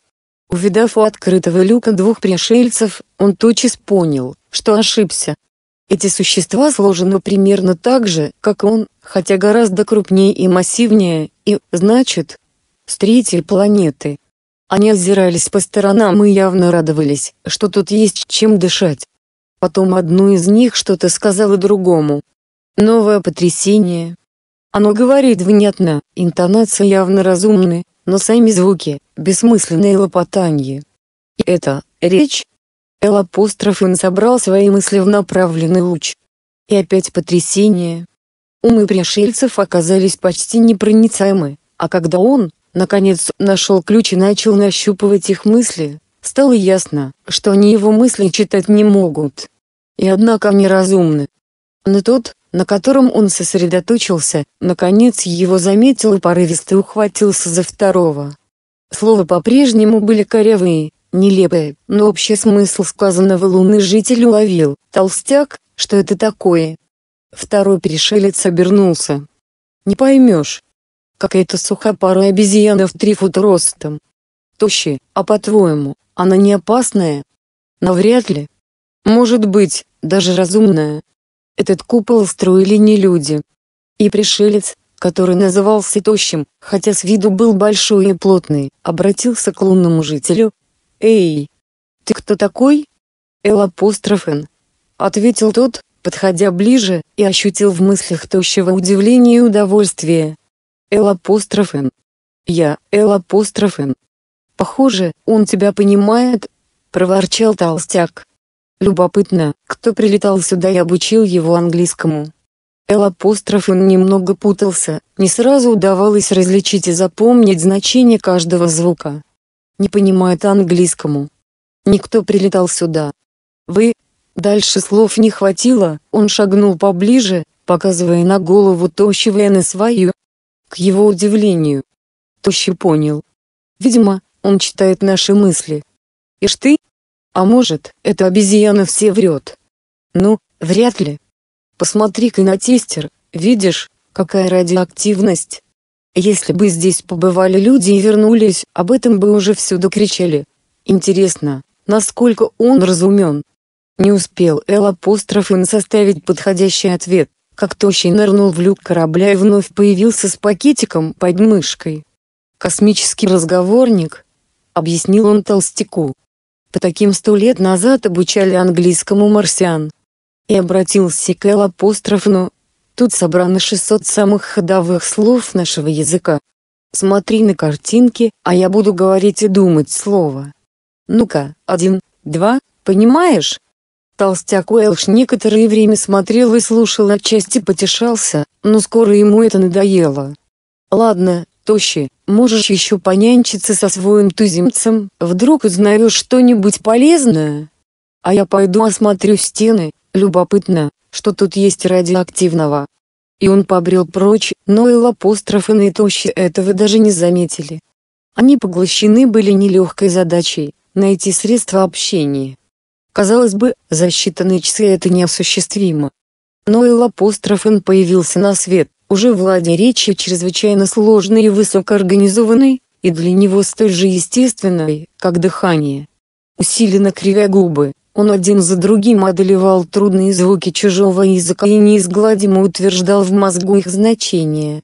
Под конец толстяк, идя на голоса, отыскал их в пещере Л-апострофне, уселся и смотрел на них, точно взрослый на малыша, играющего с собакой. Наконец Тоща кивнул, кажется, я понял. Все кроме тебя уже умерли и тебе очень не по душе, что выхода никакого нет. Гмэм. Мне на твоем месте тоже это бы не понравилось. И теперь ты думаешь, что эти твои великие, а по-нашему Бог послали нас сюда поправить дело. А как поправить? Эл апостроф он просиял. Намерения у тощего добрые. Нужен нрав. Жизнь получается от того, что из многих простых вещей делается одна непростая. Воздух, питье, еда – это все у меня есть, и я живу. А зерно неживое, будет нра, оно оживет. Какой-то витамин или гормон, что ли? Вроде витамина ее. Может, мы и смогли бы его сделать, если только. Эл апострофен кивнул. На обоих сердцах у него потеплело. Человек с земли готов ему помочь. Делать не надо. Весело пропищал он. Простая штука. Зерно или я, мы можем сделать ее внутри себя. Смотри. Он взял камешки из корзины, размял в горсти, разжевал и знаками показал, что у него внутри камень изменяется. Толстяк Уэлш заинтересовался, а ну, обезьяна, съешь еще? Ух, ты, черт! Он лопает камня. Слушай, тощий, у него что же, зуб, как у птицы? И он их переваривает. Вот что, Луин, тебе, видно, нужен какой-то химический элемент. Натрий, кальций, хлор? Этого всего здесь, наверное, хватает. Может, йод. Он перечислил десятка-два элементов, но меди среди них не оказалось. И вдруг Эл Апострофен вздохнул с облегчением. Ну, Конечно, общего слова нет, но структура химического элемента всюду одна и та же.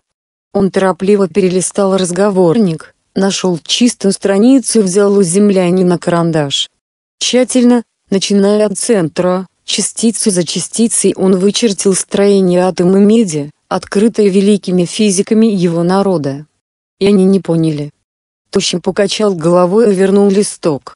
Насколько я догадываюсь, приятель, это схема как атомы, но тогда нам, на Земле, еще учиться и учиться. Толстяк скривил губы, если это атом, так я сапог в смятку. Пошли, тощи, и пора спать. И потом, насчет радиации.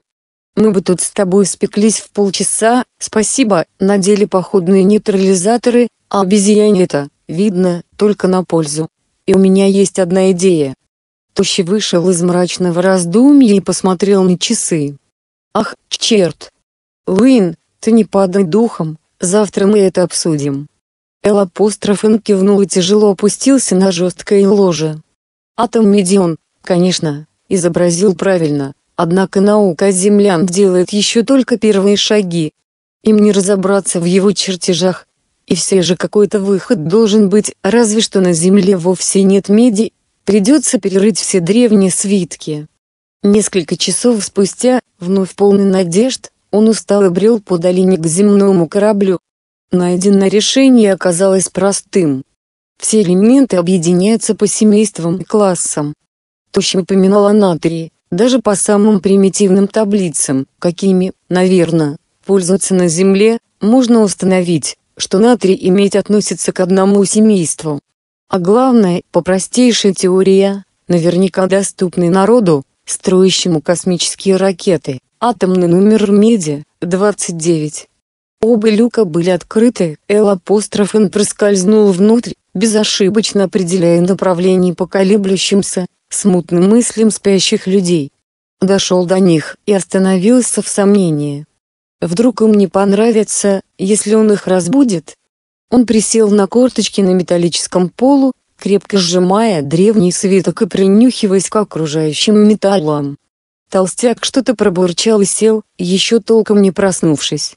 Его мысли полны были кем-то земли, в ком присутствовало женское начало, которого, как уже заметил Эл Апострофен, оба гостя были лишены и еще тем, что станет делать он, толстяк, когда разбогатеет. Эл Апострофен заинтересовался изображениями этой мысли, но спохватился, тут явно секреты, не следует в них проникать без спроса. Он отвел свой ум, и тогда-то землянин его заметил. Спросонья толстяк Уэлш всегда бывал не в духе. Он вскочил, шаря вокруг в поисках чего-нибудь тяжелого. «Ах, ты, подлая обезьяна!» — взревел он. «Чего шныряешь?» Эл апостроф взвизгнул и увернулся от удара, который едва не расплющил его в лепешку. Непонятно, в чем он провинился, но безопаснее уйти. Физический страх был ему не знаком, слишком много поколений жило и умерло, не нуждаясь в этом чувстве но его ошеломило открытие, что пришельцы способны убить мыслящее существо. Неужели на земле жизнь ничего не стоит? Эй, брось. Шум разбудил тощего, он сзади схватил толстяка и не давал шевельнуться. Что у вас тут? Но толстяк уже окончательно проснулся и остывал. Выпустил из рук металлический брус, криво усмехнулся. Сам не знаю. Может, он ничего худого и не задумал. Только я проснулся, вижу, он сидит, пялит на меня глаза, а в руках железка, ну, мне и показалось, он хочет перерезать мне глотку или вроде того. Я уже очухался. Поди сюда, обезьяна, не бойся. Тощий выпустил его и кивнул Эл апострофну, да-да, приятель, не уходи. У толстяка свои заскоки насчет людей и не людей, но в общем-то он добрый. Будь хорошей собачкой, и он не станет пинать тебя ногами, даже за ухом почешет. Чушь. Толстяк не обиделся. Марсиашки, обезьяны, ясно, они не люди, с ними разговор другой, и ничего плохого тут нет. Что ты притащил, обезьяна? Опять картинки, в которых никакого смысла нету? Надеюсь, в картинках много смысла. Вот Нра, 29 под натрием, Периодическая таблица, сказал Тощий толстяку. По крайней мере, похоже. Дай-ка справочник. ГМЭМ. Под натрием, номер 29. Натрий, калий, медь. Это оно и есть, Лын? Глаза Элапострофа сверкали от торжеством. Да, это медь. Может быть, у вас найдется хоть бы один грамм. Пожалуйста, хоть тысячу граммов. Бери сколько угодно. Ясно, обезьяна, у нас есть медь, если это ты по них ныкал. Вмешался толстяк. А чем заплатишь? Заплатишь. Ясно. Что дашь в обмен? Мы помогаем тебе, а ты нам, справедливо. Эл апостроф, но это не приходило в голову, но, как будто, справедливо. Только что же он может им дать? И тут он понял, что у землянина на уме. Заметь ему, Эл апостроф, но, придется работать, выкапывать и очищать радиоактивные вещества, с таким трудом созданные во времена, когда строилось убежище, вещества, дающие тепло и свет, нарочно преобразованные так, чтобы удовлетворять все нужды народа, которому предстояло жить в кратере. А потом работать придется его сыновьям и сыновьям сыновей, добывать руду, выбиваться из сил ради земли, и за это им будут платить медью, в обрез, только-только чтобы земли хватало рудокопов. Мозг толстяка снова захлестнули мечты о том земном создании. И ради этого он готов обречь целый народ прозябать без гордости, без надежд, без совершений. Непостижимо. На земле так много людей, для чего им обращать апострофы на раба? И рабство – это еще не все. В конце концов земля присытится радиоактивными материалами либо, как невеликие запасы, они иссякнут, и нечем будет поддерживать жизнь, так или иначе, впереди гибель. Тощий опустил руку ему на плечо. Толстяк немного путает, Луин. Верно. Толстяк. Пальцы Тощего сжимали что-то, оружие, смутно понял Эл апостроф Н. Второй землянин поежился, но усмешка не сходила с его лица. «Дурень ты! Тощей! Чокнутый! Может, ты веришь в эту дребедень, что все люди не люди равны, но не убьешь же ты меня из-за этого? Я свою медь за даром не отдам!» Тощий вдруг тоже усмехнулся и спрятал оружие. «Ну и не отдавай! Лын получит мою долю!» Не забывай, четверть всего, что есть на корабле, моя. Толстяк пожал плечами. Ладно, воля твоя. Может, взять ту проволоку, знаешь, в ларе в машинном отделении. Эл апостроф молча смотрел, как они отперли небольшой ящик и стали там рыться. Половина его ума изучала механизмы и управление, вторую половину ликовала, медь. И не какая-то горсточка, а столько, сколько он в силах унести. Чистая медь, которую так легко превратить в съедобный купорос, через год кратер вновь будет полон жизни. Он оставит 300, а может быть и 400 детей, и у них будут еще потомки. Одна деталь схемы сцепления, которую он изучал, заставила Эл Апострофа перенести центр тяжести на половину ума, занятую окружающими механизмами. Он потянул тощего за штанину. Это, вот это, не годится, да. А, да, тут что-то разладилось. Потому нас к тебе и занесло, друг. А что? Тогда без радиоактивных. Я могу платить. Я исправлю. Это ведь тоже значит платить, да. Толстяк вытащил из ящика катушку чудесной душистой проволоки, утер пот со и кивнул. Верно, это была бы плата. Только ты эти штуки не тронь. Они и так ни к черту не годятся. Может, Тощий даже не сумеет исправить. Я могу исправить. Ну, да. Ты в каких академиях обучался электронике? В этой катушке 200 футов, стало быть, на его долю 50. Ты что же, Тощий, все ему отдашь?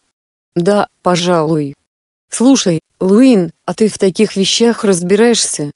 Разве у вашего народа были такие корабли? Мучительно подыскивая слово, Эл Апострофен попытался объяснить. Нет, у его народа ничего похожего не было, атомные устройства работали по-другому. Но он прямо в голове чувствует, как все это должно работать. Я чувствую. Когда я только-только вырос, я уже мог это исправить. Записи и чертежи я все прочел, но главное не что я изучал, а как я думаю. 300 миллионов лет мой народ все это изучал, а теперь я просто чувствую. 300 миллионов лет. У нас тогда еще динозавры бегали. Да, мои предки видели таких зверей на вашей планете. Серьезно подтвердил Эл апостроф. Так я буду чинить? Тощий растерянно мотнул головой и молча передал Эл апостроф инструменты. Слышишь, толстяк? Мы были еще так, букашки, кормились динозавровыми яйцами, а эти уже летали с планеты на планету. Подолгу, наверное, нигде не оставались, сила тяжести для них в шестеро выше нормальной. А своя планета маленькая, воздух не удержала, пришлось зарыться в яму, вот остался от них от всех один Луин. И поэтому он механик. У него инстинкт. Знаешь, какие инстинкты за такой срок развились у животных и у насекомых. У него особое чутье на механизмы, может, он не знает, что это за машина, но чует, как она должна работать. Толстяк решил, что спорить нет смысла. Либо эта обезьяна все исправит, либо им отсюда не выбраться. Эл апостроф взял кусачки, отключил все контакты комбайна управления и теперь обстоятельно, деталь за деталью, разбирал его. Маленькими проворными руками он виток за витком свернул проволоку в спираль, свернул вторую, между ними поместил электронную лампу. Вокруг этого узла появились еще спирали и лампы, затем длинная трубка фидер, L апостроф он соединил ее с трубопроводом, подающим смесь для ионизации, укрепил шину. Инжекторы оказались излишне сложные, но их он трогать не стал, годятся так. На все вместе не ушло и 15 минут. Будет работать. Только включайте осторожно. Теперь это работает на всю мощность, не так мало, как раньше. И это все. Удивился Тощий. У тебя же осталась целая куча свободных деталей, куда их? Это было совсем ненужное. Очень плохое. Теперь хорошо. И апостроф он старательно объяснил, как будет работать новая конструкция. То, что вышло сейчас из его рук, было плодом знания, оставившего далеко позади неуклюжие сложности первых робких попыток. Если что-то надо сделать, это делается как можно проще. Теперь тощий, только диву давался, почему так не сделали с самого начала. Вот это да, толстяк. Коэффициент полезного действия примерно 99,99%, а у нас было не больше 20. Ты молодчина, Луин. Толстяк направился к рубке. Ладно, значит, отбываем. До скорого, обезьяна. Тощи подал Эл апострофину медную проволоку и отвел его к люку. Лунный житель вышел из корабля, поднял голову и старательно улыбнулся на земной манер. «Я открою створ и выпущу вас. Я вам заплатил, и все справедливо, так? Тогда, до скорого, Тощей. Да полюбит тебя великий за то, что ты вернул мне мой народ. Проще, отозвался Ритощий и помахал рукой. Может, мы еще когда-нибудь вернемся и поглядим, как ты тут процветаешь. Люк закрылся.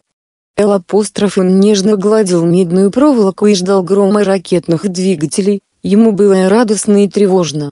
Медь — это счастье, но мысли, которые он прочел у толстяка, сильно его смущали. Он смотрел, как уносится вверх теперь уже не мигающий уверенный огонек. Если эти двое расскажут над землей, радиоактивных камнях, впереди рабство и гибель.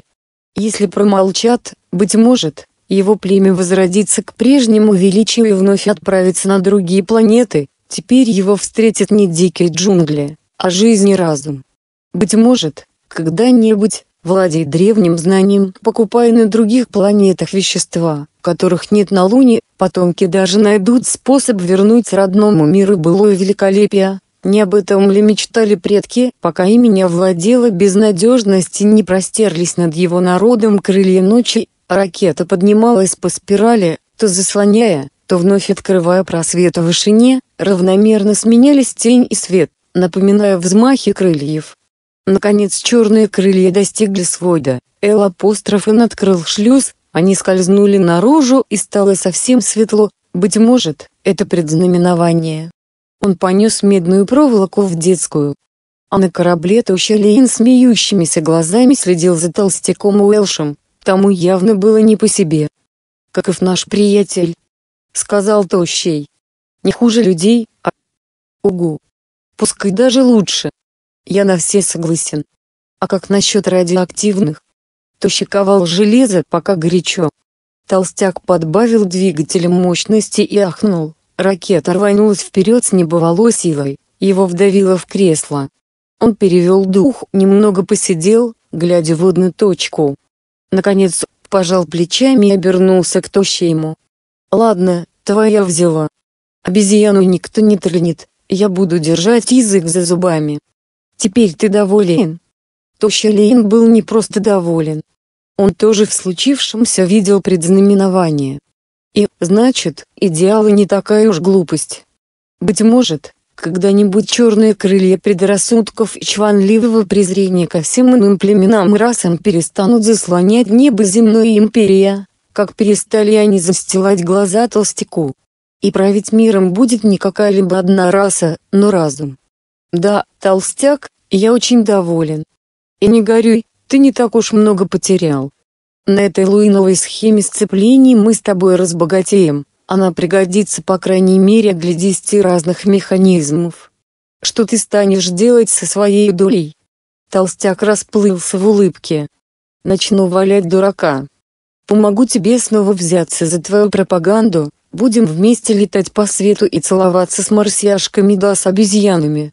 Любопытно, про что сейчас думает наша обезьянка? А Эл Апостроф в эти минуты ни о чем не думал. Он уже решил для себя загадку противоречивых сил, действующих в уме толстяка, и знал, какое тот примет решение. Теперь он готовил медный купорос и уже провидел рассвет, идущий на смену ночи. Рассвет всегда прекрасен, а этот – просто чудо. Лестер Делерей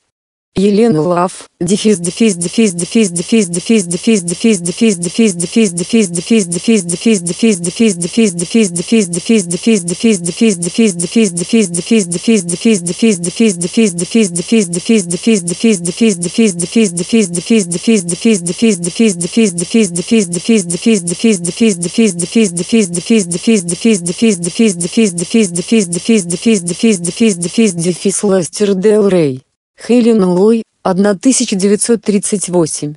Сборник, и грянул гром. Пер. Д. Жуков.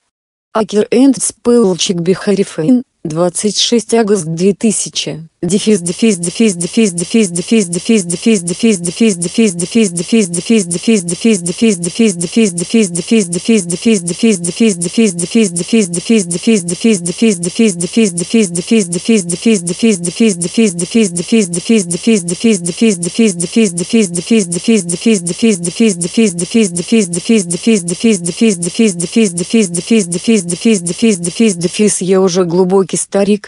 а все как сейчас вижу и слышу, Дыф распаковывает ее, оглядывает и говорит, задыхаясь от восхищения. Красавица, а... Она была красива, мечта, а не сплав пластиков и металлов. Что-то вроде этого чудилось поэтам-классикам, когда они писали свои сонеты. Если Елена прекрасная выглядела так, то древние греки, видимо, были жалкими скрягами, раз они спустили на воду ради нее всего лишь тысячу кораблей. Примерно это я и сказал Дэйву. Елена прекрасная. Он взглянул на ее бирку. По крайней мере, это название получше того, что здесь написано. К 288. Елена, ММММ. Елена Сплав. Не очень благозвучно. Слишком много согласных в одном месте. А что ты скажешь насчет Елены Лав? Елена Лав. Да, она и есть воплощение любви, Фил.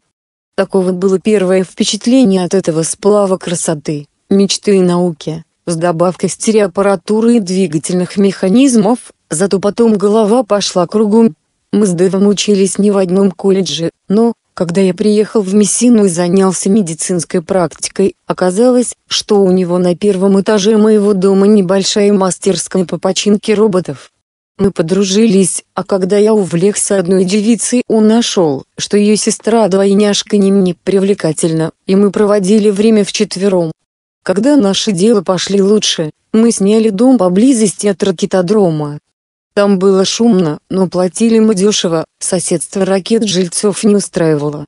Нам же нравилось жить просторно. Наверное, со временем мы бы женились на двойняшках, если бы не ссорились с ними. Бывало, Дэв хочет взглянуть на взлет новой ракеты, направляющейся на Венеру, его двойняшка желает посмотреть передачу с участием стереозвезд Ларри Инсли, и оба прямо стоят на своем. Мы распрощались с девушками и с тех пор проводили вечера дома. Но проблемой роботов и их эмоций мы занялись только после того, как наш прежний робот, Лена, посыпала бифштекс ванилью вместо соли.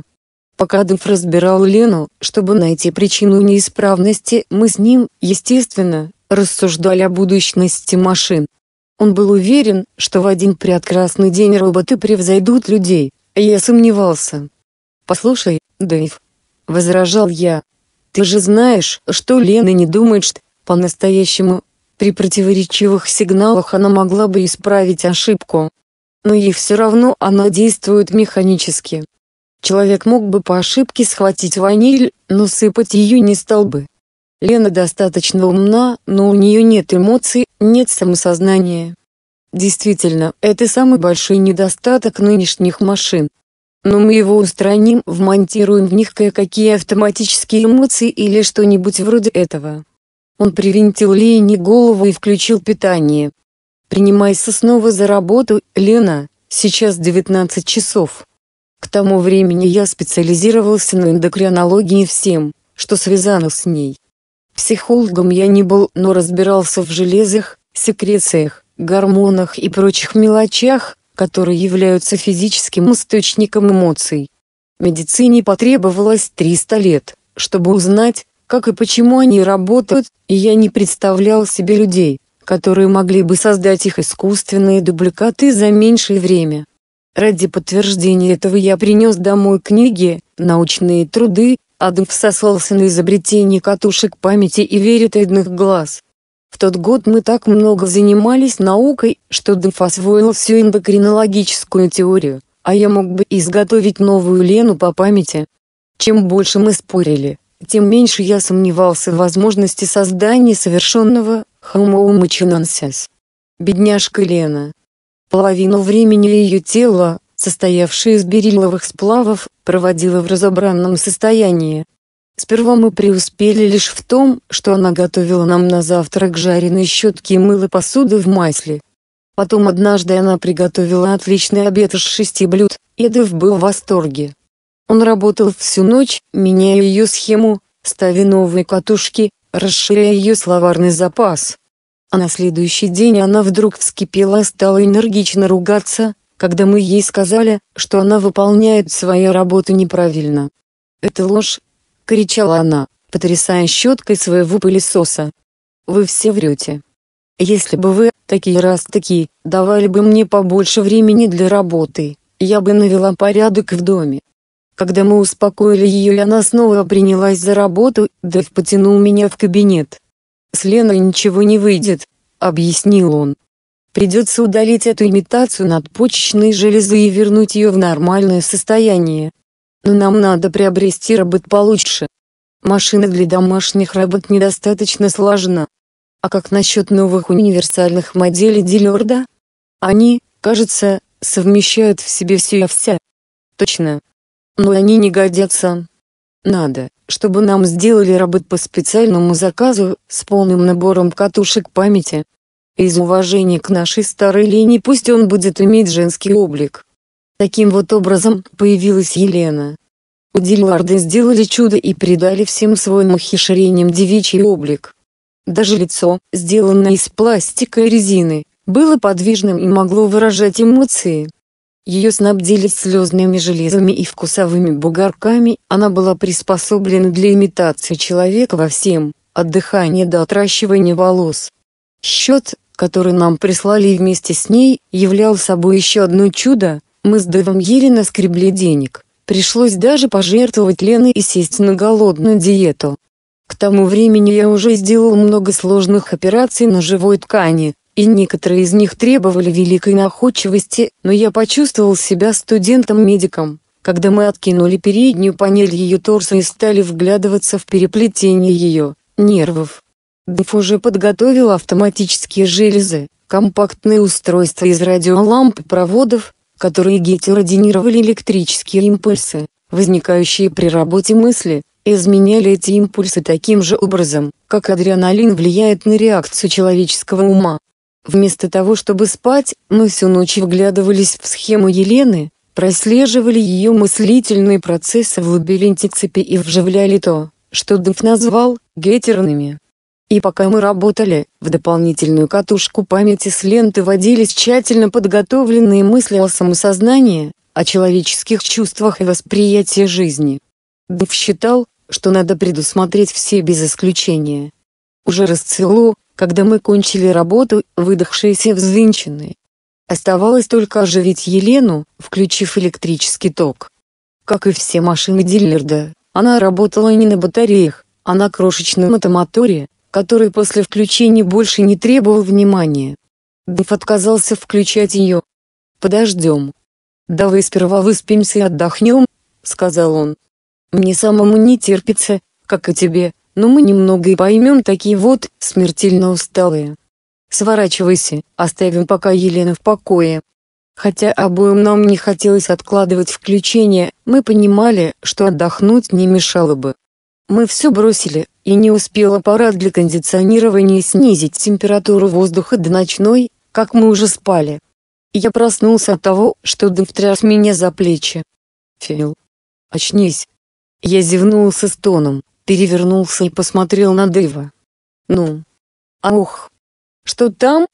Елена уже. Нет, это старая миссис Ван Стайлер. Она видеофонировала и сказала, что ее сын влюбился до безумия в прислугу. Она хочет, чтобы ты приехал и дал контргормоны. Сейчас они на летнем отдыхе в штате Мэн. Богатая миссис Ван Стайлер. Я не мог позволить себе отказаться от этого вызова после того, как Елена поглотила остаток моих сбережений. Но за такую работу я обычно не брался. Контргормоны. На это уйдет полных две недели. К тому же я не из тех светских врачей, которые ковыряются в железах ради того, чтобы делать дураков счастливыми. Я берусь только за серьезные случаи. И ты хочешь понаблюдать за Еленой? Дэнф ухмылялся, но говорил серьезно. Я сказал миссис Ван Стайлер, что это будет стоить ей 50 тысяч. Сколько? Она согласилась, только просила поспешить. Разумеется, и выбора у меня не было, хотя я с большим удовольствием свернул бы жирную морщинистую шею миссис Ван Стайлер. У нее не было бы никаких неприятностей, если бы она в своем домашнем хозяйстве пользовалась услугами роботов, как все, но богатство вынуждало ее оригинальничать. Итак, пока Дэйв дома забавлялся Еленой, я ломал себе голову, каким образом напичкать Арчи Ван Стайлера контргормонами, а заодно дать их горничной. Меня об этом не просили, но бедная девочка была по уши влюблена в Арчи. Дэйв, казалось, мог бы держать меня в курсе дела, но я не получил от него ни строчки. Только три недели спустя вместо двух, доложив, что Арчи выздоровел, я принял гонорар. С такими деньгами в кармане я мог позволить себе заказать спецрейс и прибыл ракетой в Мессину через полчаса. До дома было рукой подать. Войдя в прихожую, я услышал легкий тапот ног и голос, полный страсти, «Дэйв, милый, это ты?» С минуты я не мог произнести ни слова. И снова донесся умоляющий голос, «Дэйв». Не знаю, чего я ожидал, но я никак не ожидал, что Елена встретит меня таким образом. Она остановилась и пристально смотрела на меня, на лице ее явно было написано разочарование, ручки, прижатые к груди, трепетали. «О, Воскликнула она. Я думала, это Дэйв. Теперь он совсем не ест дома, но я все равно жду его к ужину. Она опустила руки, сделав над собой усилие, улыбнулась. Вы Фил, не так ли? Дэйв говорил мне о вас, когда, сперва. Я очень рада, что вы вернулись. Фил. Рад видеть тебя в добром здравии, Елена. А что еще можно сказать при обмене любезностями с роботом? Ты что-то сказала насчет ужина? А да. Наверно, Дуф опять поужинает в центре, так что мы с вами можем сесть за стол. Так приятно, когда в доме есть с кем поболтать. Фил. Вы не выражайте, если я буду вас звать просто Филом. Кажется, вы что-то вроде крестного отца мне. Мы ели. Я не рассчитывал на это, но, видимо, она считала поглощение пищи таким же нормальным явлением, как хождение. Правда, ела она мало, а все больше поглядывала на входную дверь. Когда мы уже кончали ужинать, пришел Дэйв, хмурый как туча. Елена было встала, но он улизнул наверх, бросив мне через плечо «Привет, Фил. Зайди ко мне потом наверх». С ним было что-то совсем неладное. Мне показалось, что глаза у него тоскливые, а когда я повернулся к Елене, то увидел ее в слезах. Она всхлипывала и тем не менее принялась поглощать неуместно много пищи. «Что с ним? И с тобой?» — спросил я. Он устал от меня. Она отодвинула тарелку и торопливо добавила, «Вы лучше поговорите с ним, пока я приберусь. А со мной ничего не случилось. Во всяком случае, я ни в чем не виновата».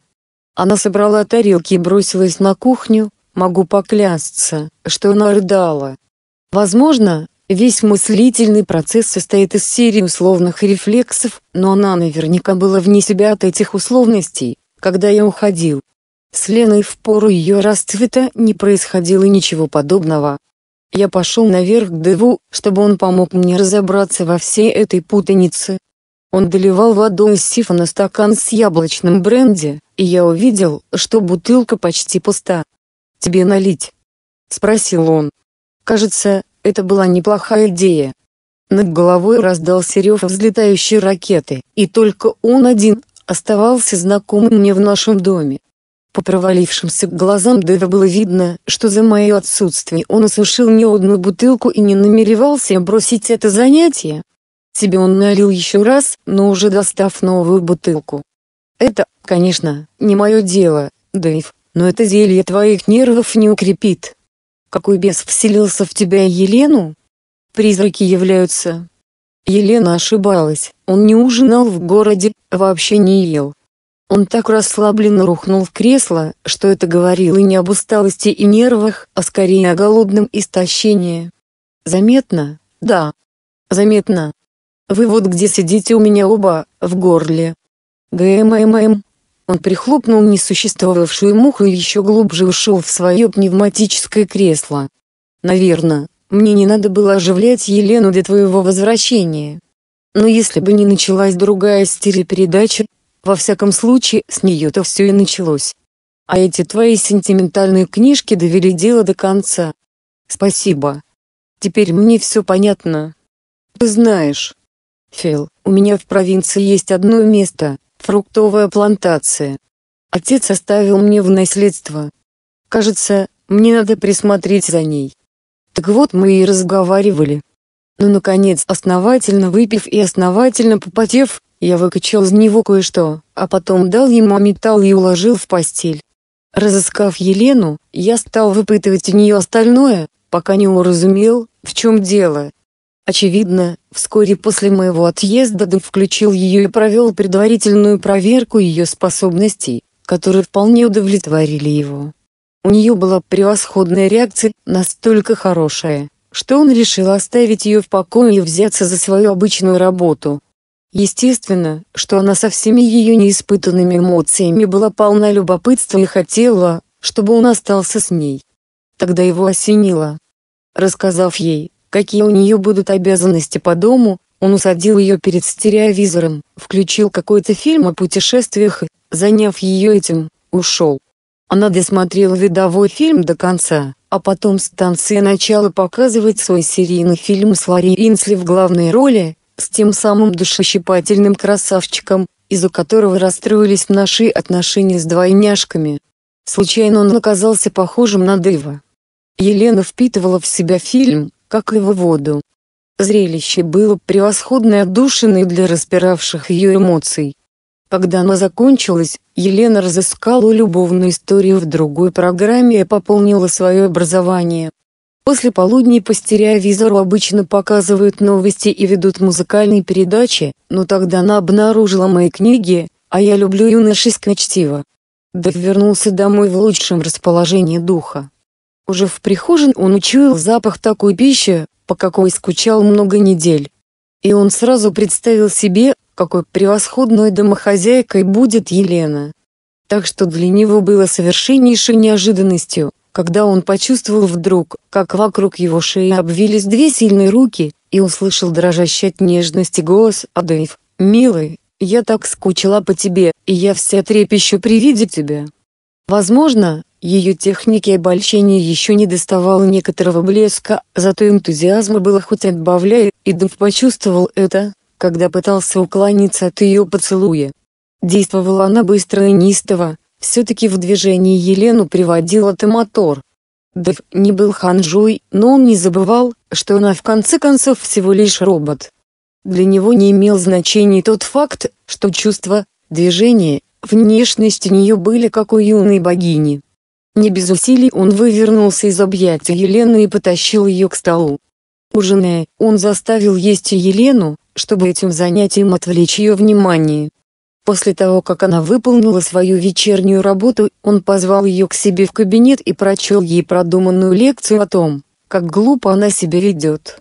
Видимо, это была неплохая лекция, потому что продолжалась она целых три часа и касалась ее положения в жизни, идиотизма стиля фильмов и прочей всякой всячины.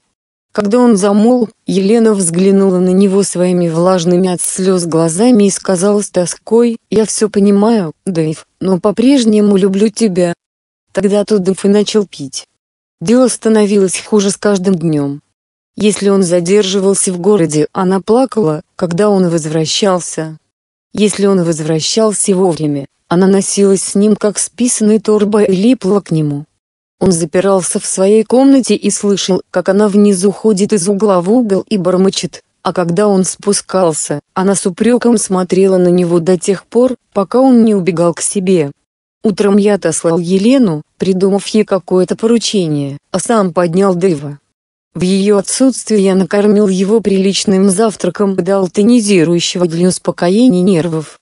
Он все еще был вял угрюм. «Послушай, Дэйв», — прервал я его размышления. «В конце концов, Елена же не человек. Почему бы не выключить ее и не сменить ей несколько катушек памяти? Потом мы сможем убедить ее, что она никогда не была влюблена и что в дальнейшем не имеет на это права. Попробуй». Я тоже думал об этом, но она так взвыла, что самого старика Гомера могла бы поднять из могилы. Она говорит, что это убийство, и все такое прочее. Да я и сам не могу отделаться от такого же чувства. Может быть, она и не женщина, но поди отличи ее, когда она с мученическим видом говорит тебе «давай убивай». Но мы же не вставляли в нее замену тех секреций, которые наличествуют в человеке в период любви. Я не знаю, что мы там вставляли. Может, в гетеронах произошла обратная вспышка или какое-нибудь замыкание. Во всяком случае, эта мысль так втемяшилась ей в голову, что нам придется сменить весь набор катушек. Зачем же дело? Действуй. Ты же наш домашний врач. Я не привык возиться с эмоциями. По правде говоря, из-за ее поведения я возненавидел всякую работу с роботами, Мое дело прогорает. Увидев, что Елена возвращается, он выскочил через черный ход и сел в монорельсовый экспресс. Я собирался уложить его в постель, но потом раздумал. Может быть, в мастерской ему будет лучше, чем дома. Дыф ушел? У Елены сразу же появился мученический вид. Да. Я заставил его поесть, и он поехал на работу. Я рада, что он поел. Она упала на стул, будто в изнеможении, хотя до меня не доходит, как эта машина может устать. Фил. Да, в чем дело? Вы думаете, ему со мной плохо? Я хочу сказать, вы думаете, он был бы счастливее, если бы меня не было здесь? Он с ума сойдет, если ты будешь продолжать вести себя с ним таким образом. Елена вздрогнула. Она так умоляюще стиснула свои маленькие ручки, что я почувствовал себя бесчеловечным зверем. Но я опомнился и продолжал, даже если я отключу источник энергии и переменю твои катушки, ты, наверное, все равно будешь преследовать его. Я все понимаю. Но ничего не могу поделать с собой. Я была бы ему хорошей женой, я в самом деле справилась бы, Фил. У меня перехватило дыхание, дело зашло чуть-чуть дальше, чем следовало бы. И родила бы ему здоровых сыновей, наверное. Мужчине нужны плоть и кровь, а не металл и резина. Перестаньте, умоляю. Такое о себе мне и в голову не приходит. По моим представлениям, я женщина. И вы знаете, насколько совершенно я могу имитировать настоящую женщину, во всех отношениях. Я не могу родить ему сыновей, но во всех других отношениях, я буду очень стараться. Я уверена, что буду ему хорошей женой. Я сдался. Дэв не вернулся домой ни в тот вечер, ни в следующий.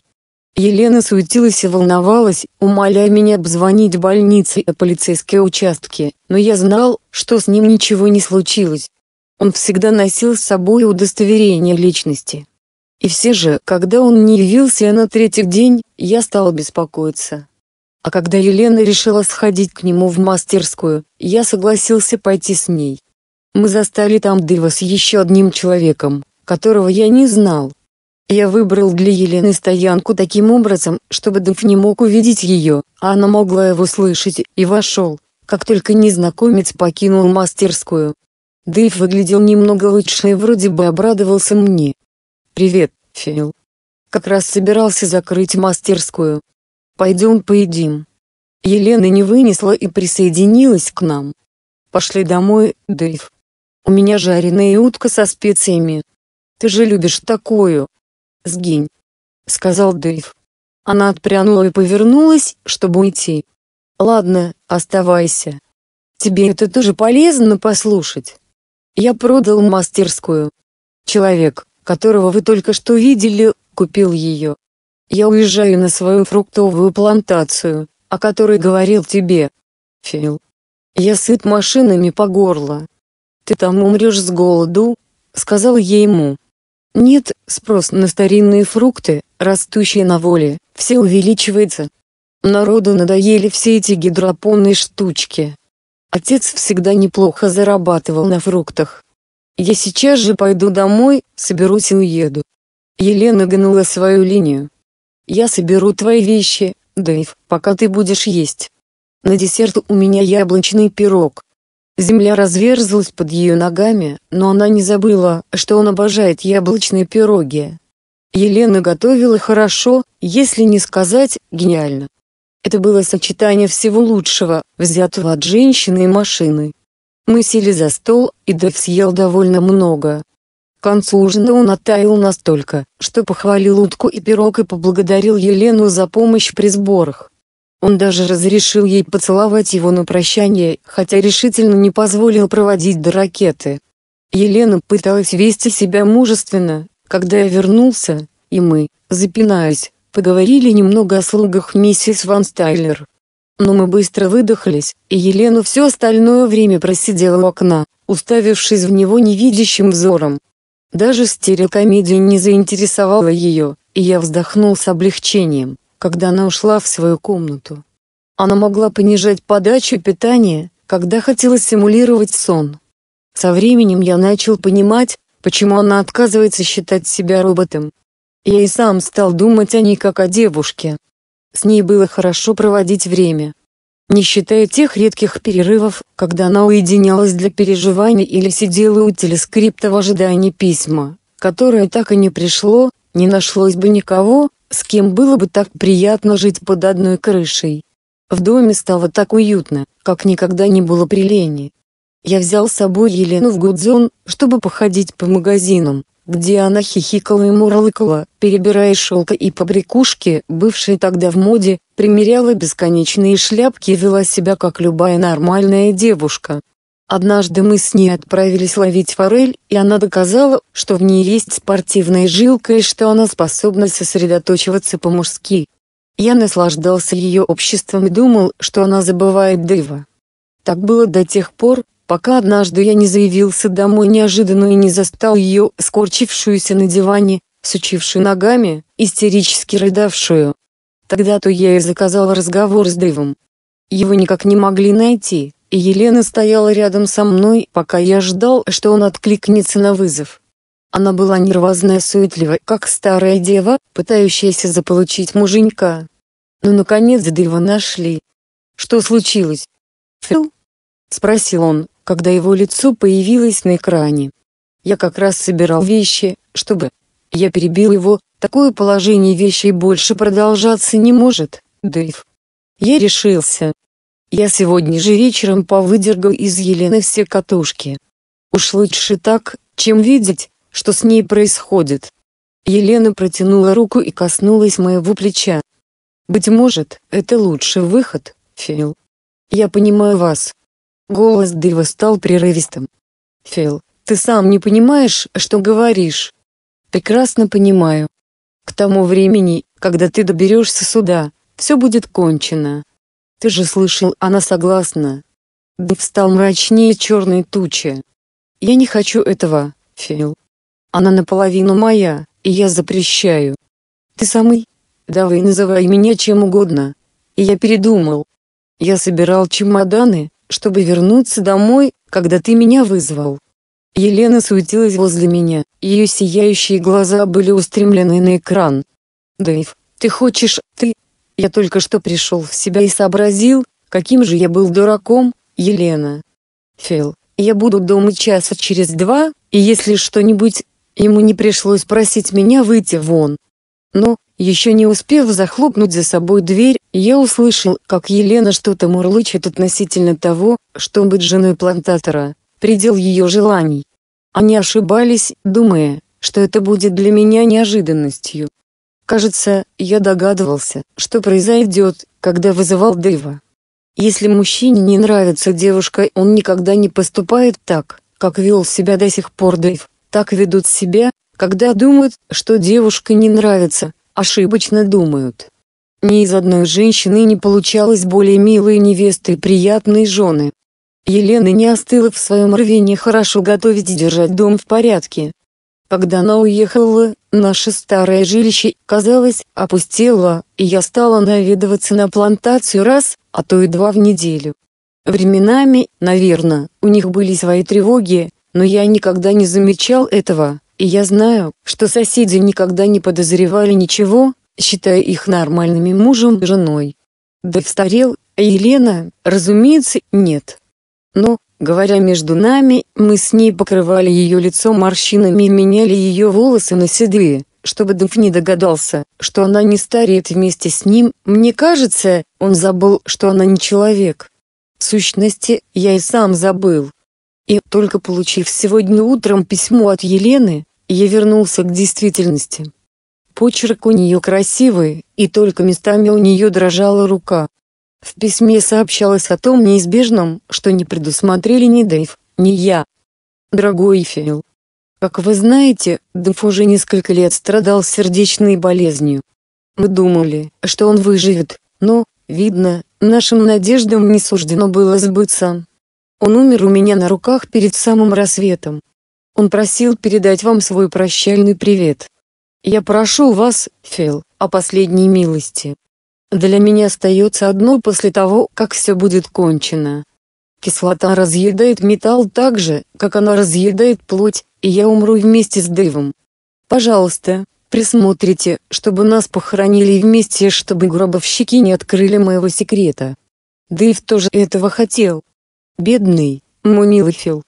Я знаю, что вы любили Дэйва как брата и что вы сочувствуете мне.